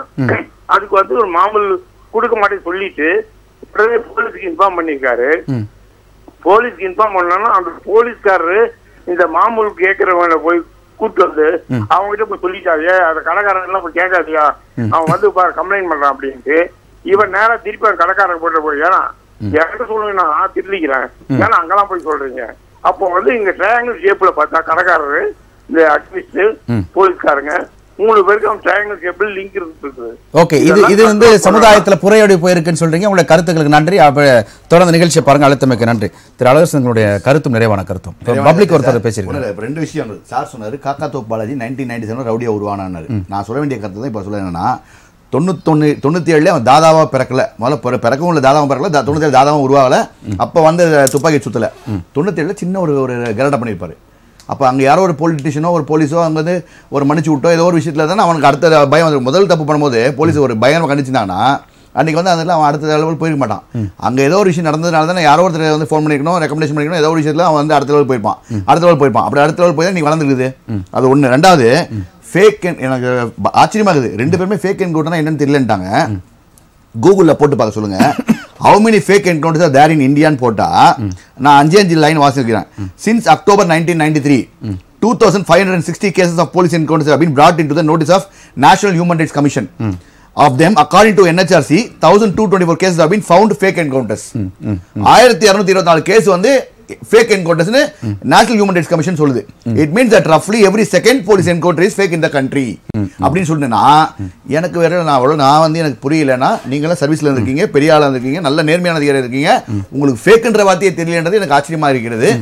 இந்த மாதிரி விஷயங்கள்ல நான் திருப்பி சொல்றேன் மனித உயிரை எடுக்கிறது வந்து ரொம்ப ஈஸி அது வந்து போலீஸோடைய பக்கமா தான் போலீஸும் இப்போ சொன்ன மாதிரி அவங்களும் உயிரை துச்சமா தான் பண்றாங்க. ஆனா இன்னைக்கு அரசியலுக்கு கட்டுப்பட்டு அந்த மாதிரி இல்லாம மக்கள் கவலரா இருந்து உண்மையாலே மக்களுக்கு ஒருத்தர் துரிச்சனை பண்ண அவனை சொல்லி புரிய வச்சு இந்த சமுதாயத்தில் கூடிய மன பல அழுத்தங்களை சரி பண்ணாலே இவங்களோட அழுத்தங்கள் போயிருக்கும். என்கவுண்டர் தவிர்க்கப்படும். ரவுடி பினுவை வந்து எழுபத்தஞ்சு ரவுடிகளோட சேர்ந்து கேக் கொண்டாடினாங்க. அன்னைக்கு பதினஞ்சு இருபது போலீஸும் இருபது போலீஸும் போனாங்க. அன்னைக்கு அவன் திருப்பி கத்தி எடுத்தாங்கன்னா அந்த மொத்த போலீஸும் பயம். பட் இருந்தாலும் அன்னைக்கு வந்து அஹ், துச்சமா நினைச்சு அந்த போலீஸ்காரங்க பண்ணாங்க. அதுக்கு நாங்க பேனர் போட்டு தண்டோர அடிச்சு மாலை போட்டு போய் அந்த போலீஸை நாங்க வரவேற்றோம். போய் பண்ணது. இருந்தாலும் உயிரை துச்சமா வச்சு போனீங்க இருபது போலீஸ் அவங்க திரும்பி என்கவுண்டர் பண்ணி நல்லா குடிச்சிருந்தாங்க. ஒரு திருடி திருப்பி அடிக்கணும்னு நினைச்சாங்கன்னா அன்னைக்கு எல்லா போலீஸும் காலியா இருப்பாங்க. ஆனா நாங்க போலீஸுக்கு நாங்க சப்போர்ட்டா தான் இருக்கிறோம். Okay. ஆனா என்ன விஷயம்னா தயவு செய்து என்னைக்கு அந்த அந்த ஒரு புனிதமான காலம் என்னைக்கு வரும்னா நாங்கள் அதிகாரிகள் எந்த அரசியல் அமைப்புக்கும் கட்டுப்பட மாட்டோம். எந்த ரவுடிஸும் கட்டுப்பட மாட்டோம். எந்த லஞ்ச லாவணியும் பெற மாட்டோம். நாங்கள். நாணயமாக இருக்கணும் நாணயம் வாங்கக்கூடாதுன்றீங்க. அது மட்டும் இருந்தால் கண்டிப்பாக என்கவுண்டர்ன்ற வார்த்தை வருது அப்ப என்கவுண்டர் அந்த ஸ்ப்ரேகன் மயக்கமருந்து கண்ணை போட்டு அடிச்சு அதை அவரை கொண்டு போய் நிக்க வச்சு நீங்க ஆயுள் தண்டனை வாங்கி கொடுங்க. அங்க வந்து அது மூலமா நடக்கட்டும் என்னுடைய நன்றி நன்றி நன்றி. இணைப்புல திருப்பூரிலிருந்து காளிதாஸ் வணக்கம். உங்களுடைய கருத்துக்களை விரைவாக பதிவு பண்ணுங்க. வணக்கம் வணக்கம் என்கவுண்டருங்கிறீங்க அதாவது என்கவுண்டர் செய்ய வேண்டிய கட்டாயம் எதனால வருதுன்னா கடுமையான குற்றத்தை செய்துட்டு அது போலீஸ் பிடிக்கும் போது அரெஸ்ட் பண்ணும் போதோ போலீஸையே தாக்கிட்டு அவங்க வந்து போலீஸுக்கு கட்டுப்படாத ஒரு ஆட்களை வந்து என்கவுண்டர் பண்ண வேண்டிய அவசியம் அவங்களுக்கு வந்துருது. அது வேற விஷயம். ஆனா இந்த கேங்கா இருந்து அந்த கேங்கா ஒரு கொலையை பண்ணிட்டு இருக்காங்கன்னா கூலிப்படை மாதிரி பண்ணிட்டு இருக்காங்க. அந்த கூலிப்படையை ஏவி விடுறவர் யாரு? அப்போ கூலிப்படையை ஏவி விடுறவரை என்னைக்கு நீங்க என்கவுண்டர் பண்ண போறீங்க? அப்பதான் அந்த பிரச்சனைகளுக்கு முடிவு வரும். ஏன்னு கேட்டா ஒருத்தர் கூலிப்படையை ஏவி விட்டு போட்டா ஒரு ஏசி ரூம்ல உட்கார்ந்துகிட்டு இருக்காரு இல்லைன்னா பெரிய பதவியில பொறுப்புல உட்கார்ந்துகிட்டு இருக்கிறாரு. அப்ப அவரை உங்களால ஒண்ணுமே பண்ண முடியாது. நீங்க சாதாரணமானால எங்க என்கவுண்டர் பண்ணிட்டீங்கன்னா அது உங்களுக்கே குற்றமாயிரும் மனசாட்சியின் பின்னால குத்திக்கிட்டு இருக்கிறோம். நீதியை காப்பாத்த முடியாது. சட்டத்தை காப்பாத்தணும்னு படிக்கிறோம். ஆனா சட்டத்தை காப்பாத்தணும்னு படிச்சவங்க வந்து சட்டத்துக்கு பின்னால போய் ஒளிஞ்சுக்கிறாங்க இன்னைக்கு. கண்டிப்பா நீங்க சொன்ன கருத்தை நீங்க சொன்ன கருத்து ஒரு உண்மையான கருத்து காளிதாஸ். நன்றி. நிகழ்ச்சிக்கு வந்து கலந்ததுக்கு நன்றி. திரு நந்தகுமார் இப்போ ஓரியன்டா தான் வந்து அவங்க கால்ஸும் வருது. யார் தப்பு பண்ணாங்களோ தப்பு பண்ண தூண்டினவங்களுக்கு தானே என்கவுண்டர் பண்ணணும். டானுக்கு தான் நீங்க குறி வைக்கணும் அப்படின்ற ஒரு சொல்றாங்க நேயர் உங்களுடைய கருத்து. ரெண்டு நிறைவான நேயர் கருத்தும் ரெண்டு நேயர் சொன்னதுமே எக்ஸ்ட்ராடினரியான கருத்துக்கள். ஏன்னா இன்னைக்கு அந்த ஆரம்பத்துல இருந்த ரவுடி ஆரம்பத்திலேயே கட்டுப்படுத்தினீங்கன்னா அது ஏன் முள்மரமா மலர்ந்து அந்த அளவுக்கு வந்து என்கவுண்டர் லெவலுக்கு அவனை ஏன் பெரிய ஆள் ஆக்குறீங்க அப்ப இந்த இடத்துல என்ன ஆகுதுன்னா அந்த போலீஸ்க்கு வந்து நீங்க ஆரம்ப கட்டத்துல இருந்தே ஒரு எந்த கட்சி சார்பு இருந்தாலும் ஃப்ரீ ஹேண்ட் கொடுத்து நீ நடவடிக்கை எடு. நாங்க எந்த விதமான அரசியல் தடையீடும் இருக்காதுன்னா போலீஸினுடைய நேர்மையான நடவடிக்கைகள் அந்த இடத்துல இருக்கும். அப்ப அவங்கள போலீஸை நீங்க கட்டுப்படுத்த கட்டுப்படுத்த அவங்க செயல்படுத்த முடியாதனால சின்ன விதையா இருந்தது வந்து பெரிய ஆலமரமா மருந்து கடைசியில என்கவுண்டர் பண்ண வேண்டிய சூழ்நிலைக்கு கொண்டு போறீங்க. அடுத்தது இன்னைக்கு ரவுடி ரவுடியசியத்துக்கும் எங்க யார் ஊற்றுக்கண்ணுனா பாலிடிக்ஸ் தான் ஊற்றுக்கண்ணு. அப்ப இன்னைக்கு அரசியல் நடத்துறவங்களுக்கு எல்லாத்துக்குமே யார் தேவைன்னா ஃபுல் டைமர்ஸ் தேவை. அப்ப இந்த ஃபுல் டைமர்ஸ் யாருன்னா ஒவ்வொரு தலைவர்களுடைய பிறந்த நாள்லயும் நிறைய விடுதலை ஆகி வராங்க பாருங்க. அவங்க பூரா கடைசியில் எங்க போய் சேர ஏன்னா ஒரு ஜெயிலுக்கு போயிட்டு வந்தவ என்ன ஒரு குடும்பத்திலே ஆகட்டும் ஏதோ ஒரு சூழ்நிலை காரணமா போனா கூட சமூகத்தினுடைய பார்வை எப்படி இருக்குன்னா ஒரு ஜெயிலுக்கு போயிட்டு வந்தவன் முழுக்க முழுக்க அயோக்கியன். அவன் திருந்தவே மாட்டான்னு அந்த குடும்பமே நிராகரிக்கும் போது என்ன ஆகுதுன்னா வேற வழியே இல்லாம அந்த ஜெயில்ல இருக்கும்போது அவனுக்கு ஏற்பட்ட சகவாகசத்தினால கடைசியில இந்த மாதிரி ஆளுங்க போய் தஞ்சம் அடைகிற இடம் எதுனாக்கா அரசியல் கட்சிகளா இருக்கு. ஒரு ஃபுல் டைம் எங்க எங்க போனாலும் கூட கூட்டத்தை கூட்டிட்டு போறதுக்கு ஒரு கட்ட பஞ்சாயத்து பண்றதுக்கு எல்லாமே. இப்போ ஒண்ணு இல்லை இன்னைக்கு ஆம்ஸ்ட்ராங்கினுடைய கொலை வழக்கு எடுத்துங்க எத்தனை கட்சியினுடைய ஆட்கள் வந்து பதவியில நிர்வாகிகளா இருக்கிறவங்க ஈடுபட்டு இருக்காங்க அந்த பிரச்சனை பேர் வர வர ஒவ்வொரு கட்சியும் பெரிய துரிதமா உடனே லெட்டர் பேர்ல காலையில நியூஸ் வந்தா உடனே உடனே சாயந்தரம் சாயந்தரம் பதவி நீக்கம் பண்றீங்களே. அப்ப பதவி கொடுக்கும்போது அவங்க எல்லாம் நீங்க செக் பண்ணலையா? அப்ப இந்த மாதிரி ஏதோ ஒரு இடத்துல உங்க பேர் வந்தாதான் நீக்குவீங்களா? சரி அதுக்கப்புறம் நாச்சுக்கு உங்களுக்கு பொலிட்டிக்கல் வில் இருந்தா ஒவ்வொரு அரசியல் கட்சி என்ன பண்ணிருக்கணும்? அத்தனை நிர்வாகிகளுடைய டேட்டாவையும் இன்னைக்கு எடுத்து செக் பண்ணி யார் யாரெல்லாம் இன்னைக்கு வந்து இந்த மாதிரி குற்ற பின்னணிகள் இருக்கோ அவங்கள பூரா நீக்கிறதுக்கு இந்த அரசியல் கட்சிகளுக்கு வந்து இன்னைக்கு வந்து. அந்த திராணிகள் இருக்கணும். அது இருக்கிறது இல்ல அப்ப என்ன ஆகுதுன்னா இன்னைக்கு அரசியல் கட்சிக்கு வந்து இந்த ரவுடிகள் தேவைப்படுறாங்க இவங்க வளர்த்துறதுக்கு. அப்ப அவங்க வளர்றதுக்கு இவங்க எதுவா இருக்காங்க இவங்க வளர்றதுக்கு அவங்க எதுவா இருக்காங்க போது ஒரு காலகட்டத்தில் தேவை திரும்பும் பொழுது என்கவுண்டர் பண்ண சொல்றாங்க. பாலிடிக்ஸ்க்கு என்னைக்கு வந்து அவன் ஆப்போனண்டா மாறுறானோ இல்ல என்னைக்கு வந்து இவன் பிரயோஜனப்படாதவனா போடுறானோ அன்னைக்கு வந்து அவன் வந்து கொல்லப்படுறான். அதைத்தான் இவர் வந்து ஃபேக் என்கவுண்டர்ங்கிற இதுல கொண்டு வந்தார் அது ஃபேக் என்கவுண்டர் அது போலி என்கவுண்டர் அதாவது காரணம் இல்லாம கொல்லப்படுறாங்கிறத அவர் ஃபேக்ன்றார். அடுத்தது இல்ல இது இது இன்னொன்னு. அடுத்தது எந்த அளவுக்கு. முக்கியமான கருத்து என்னன்னா இன்னைக்கு போதை கலாச்சாரம். இன்னைக்கு எந்த ஒரு தனி மனிதனும் குற்றம் பண்றதுக்கு அடிப்படை ஆதாரமா இருக்கிறது இந்த டாஸ்மாக். இந்த போதை கஞ்சா. இன்னைக்கு தமிழ்நாட்டுல வந்து அதிகமான அளவுக்கு வந்து இன்னைக்கு போதை பொருட்கள் நடமாடிட்டு இருக்கு. எவ்வளவு பெரிய ஆளா இருந்தாலும் அவனுக்கு அந்த போதை ஏறாம ஒரு உயிரை போய் வெட்டணுங்கிற எண்ணமே வராது. அப்ப இன்னைக்கு குற்றம் பண்ணவன் பூரா அவன் சின்ன குற்றத்துல இருந்து ஒரு உயிரை பலி எடுக்கிறவன் வரைக்கும் அவனுக்கு அந்த சரக்கு அடிச்சுட்டு அந்த மப்பில் போய் ஏன்னா நம்ம வந்து மிருகத்திலிருந்து பரிணாம வளர்ச்சியில வந்தோங்கிறோம். அப்ப இன்னைக்கு அவன் இந்த சாராயத்தை குடிக்க குடிக்க அந்த டாஸ்மாக்ல இருக்கிற போதையை போட போட மறைஞ்சிருக்கக்கூடிய மனிதன்கிட்ட மறைஞ்சிருக்கக்கூடிய அந்த மிருக டிஎன்ஏ இருக்கு இல்லையா? அந்த டிஎன்ஏக்கள் பூரா எக்ஸ்பிரஸ் ஆகும்போது பழைய மிருகமா மாறுறான் இவன். அப்ப அவனே தன்னை இறந்து தன் அழிவை இறந்து அழிவை இழந்து இவன் நிரா கண்டிப்பா இவன் மனுஷனே லாக்கி இல்லைங்கிற அளவுக்கு ஆகிறதுக்கு அப்புறம் அவன் போய் அந்த கொலையவே செய்ய ஆரம்பிக்கிறான். அப்ப இந்த கொலையை தூண்டுறதுல இந்த இது போன்ற- காரணங்கள் இருக்கு. இது போன்ற மிருகங்களை என்கவுண்டர் பண்றதுல தவறு இல்லையா தவறா? தவறு. மிருகங்களை உண்டு பண்றதை தடுக்கிறதுல வேலையை காமிங்க. Okay. டாஸ்மாக் கடையை மூடுங்க. Okay, நன்றி. மிருகங்கள் உருவாகிறது தடுக்கப்படும். ஓகே நன்றி. நம்ம. நம்ம நிக நிகழ்ச்சி நிறைவு பண்ண இல்ல காலர் காலர் லைன் இதெல்லாம் சொல்லியிருக்காங்கன்னு பதிவு பண்றோம். ஓகே எஸ் எஸ் நம்ம நிகழ்ச்சியினுடைய நிறைவு பகுதிக்கு வந்திருக்கிறோம். நம்ம நிகழ்ச்சியினுடைய நிறைவான அழைப்பாளர் திருச்சியில் இருந்து சிம்புத்தேவன் உங்களுடைய கருத்து. சார் இன்னைய காலகட்டத்தில் என்கவுண்டர் கம்பல்சரி கட்டாயமான தேவையானதானே ம். ஏன்னா என்கவுண்டர் செய்யப்படுற பார்ட்டிங்கெல்லாம் பாத்தீங்கன்னா எட்டு கொலை பத்து கொலை அவங்க மேல நாற்பது கேஸ் ஐம்பது கேஸ் இத்தனை கேஸ் இருக்கு. இந்த கேஸ் எல்லாம் வளர்க்க முடியுங்காட்டி அவன் ஆய்க்க முடியுது அப்படிங்கிற காலகட்டத்தில் மக்களுக்கு பொதுமக்களுக்கு பாதுகாப்பு வேணும்னா இன்னும் இவங்க வளர்றப்பயே போலீஸ் கடுமையான நடவடிக்கை எடுத்திருக்கணும். எடுத்ததுக்கெல்லாம் அவங்களுக்கு முப்பது நாள் இருந்தா ஜாமீன் தொண்ணூறு நாள் ஜாமீன் இருக்கிறா அவனுக்கு சட்டத்து மேல பயம் கிடையாது நல்லா வளர்ந்துடுறான். இன்னைக்கு சட்டத்து முன்னாடி போய் அவன் நிப்பாட்டினாலும் அவன் திருந்த மாட்டான். திருந்துறவன் ரெண்டு குற்றம் செஞ்சாலே பயம் பயம் வரும் திருந்துவான். இன்னைக்கு காலையில அவன் திருந்தல. திருந்தலங்கிறப்ப அவங்கள என்ன பண்ண அவனால ஆயிரம் அவ்வளவு பேர் பாதிக்கப்படுறாங்க. அது தவறு இல்லையா? இவன் ஒருத்தர் செத்து போடுறவங்கள பாதிப்பு பாதிப்புன்னு சொல்லி மனித உரிமை பேசினா அப்ப பொதுமக்களுக்கு பாதுகாப்பு இந்த மனித உரிமை கமிஷன் கொடுக்குமா? நல்ல கேள்வி. பாதிப்பு சம்பவம் சம்பந்தப்பட்டவங்க பாதிக்கிறப்ப இந்த மனித உரிமை கமிஷன் என்ன பண்ணுது? நல்ல நல்ல கேள்வி நல்ல கேள்வி. திரு சிம்புத்தவன். நிகழ்ச்சியில் உங்களுடைய கருத்துக்களை பதிவு செய்ததுக்கு நன்றி நன்றி. ஓகே நேயர்களே நம்முடைய மூன்று அழைப்பாளரும் சரி அதுபோக இங்கே அழைக்கப்பட்ட சிறப்பு அழைப்பாளரும் சரி ராசிதிகள் நன்றிகளையும் வாழ்த்துக்களையும் வணக்கத்தையும் தெரிவித்துக்கொள்வது அனைவருக்கும் நன்றி சார். நிகழ்ச்சி வந்து கலந்து கொண்டது. நன்றி நன்றி. நேர்களே நம்முடைய நிகழ்ச்சி இத்துடன் நிறைவு பெறுகிறது மீண்டும் நாளை இரவு ஏழு மணிக்கு மற்றொரு தலைப்போடு விவாத நிகழ்ச்சியில் சந்திக்க வருகிறோம். என்கவுண்டர் என்பது ஒரு தீர்வா ஒரு முடிவா என்கின்ற வரும் பொழுது ஒரு பெரிய வயல்வெளியில் வயலை நாசப்படுத்துகிற களைகளை பிடுங்குவது எவ்வளவு சரியோ அதே போல் இதுவும் சரி என்று ஒரு பக்கமும் அதே போல் என்கவுண்டர் என்பது திட்டமிட்டு செய்யக்கூடிய ஒரு செயல் அல்ல ஒரு தற்பாதுகாப்பிற்காக ஒரு செயல் என்றும் இல்லை அரசியல் கொலைகளாகவும் அது மாற்றப்படுகிறது என்கின்ற அடிப்படையிலும் செய்யப்படுகிறது. ஆனால் என்கவுண்டர் பண்ணுகிற அளவிற்கு அவர்கள் ஏன் சமுதாயமோ அல்லது குடும்பமோ மாற்றி இருக்கிறது காவல்துறை ஏன் இரும்பு கரம் கொண்டு அடக்கவில்லை என்கின்ற பல மில்லியன் டாலர் கேள்விகளோடு நிகழ்ச்சியை நிறைவு செய்கிறோம். மீண்டும் சந்திக்கலாம். நன்றி வணக்கம் நண்பர்களே மக்களை.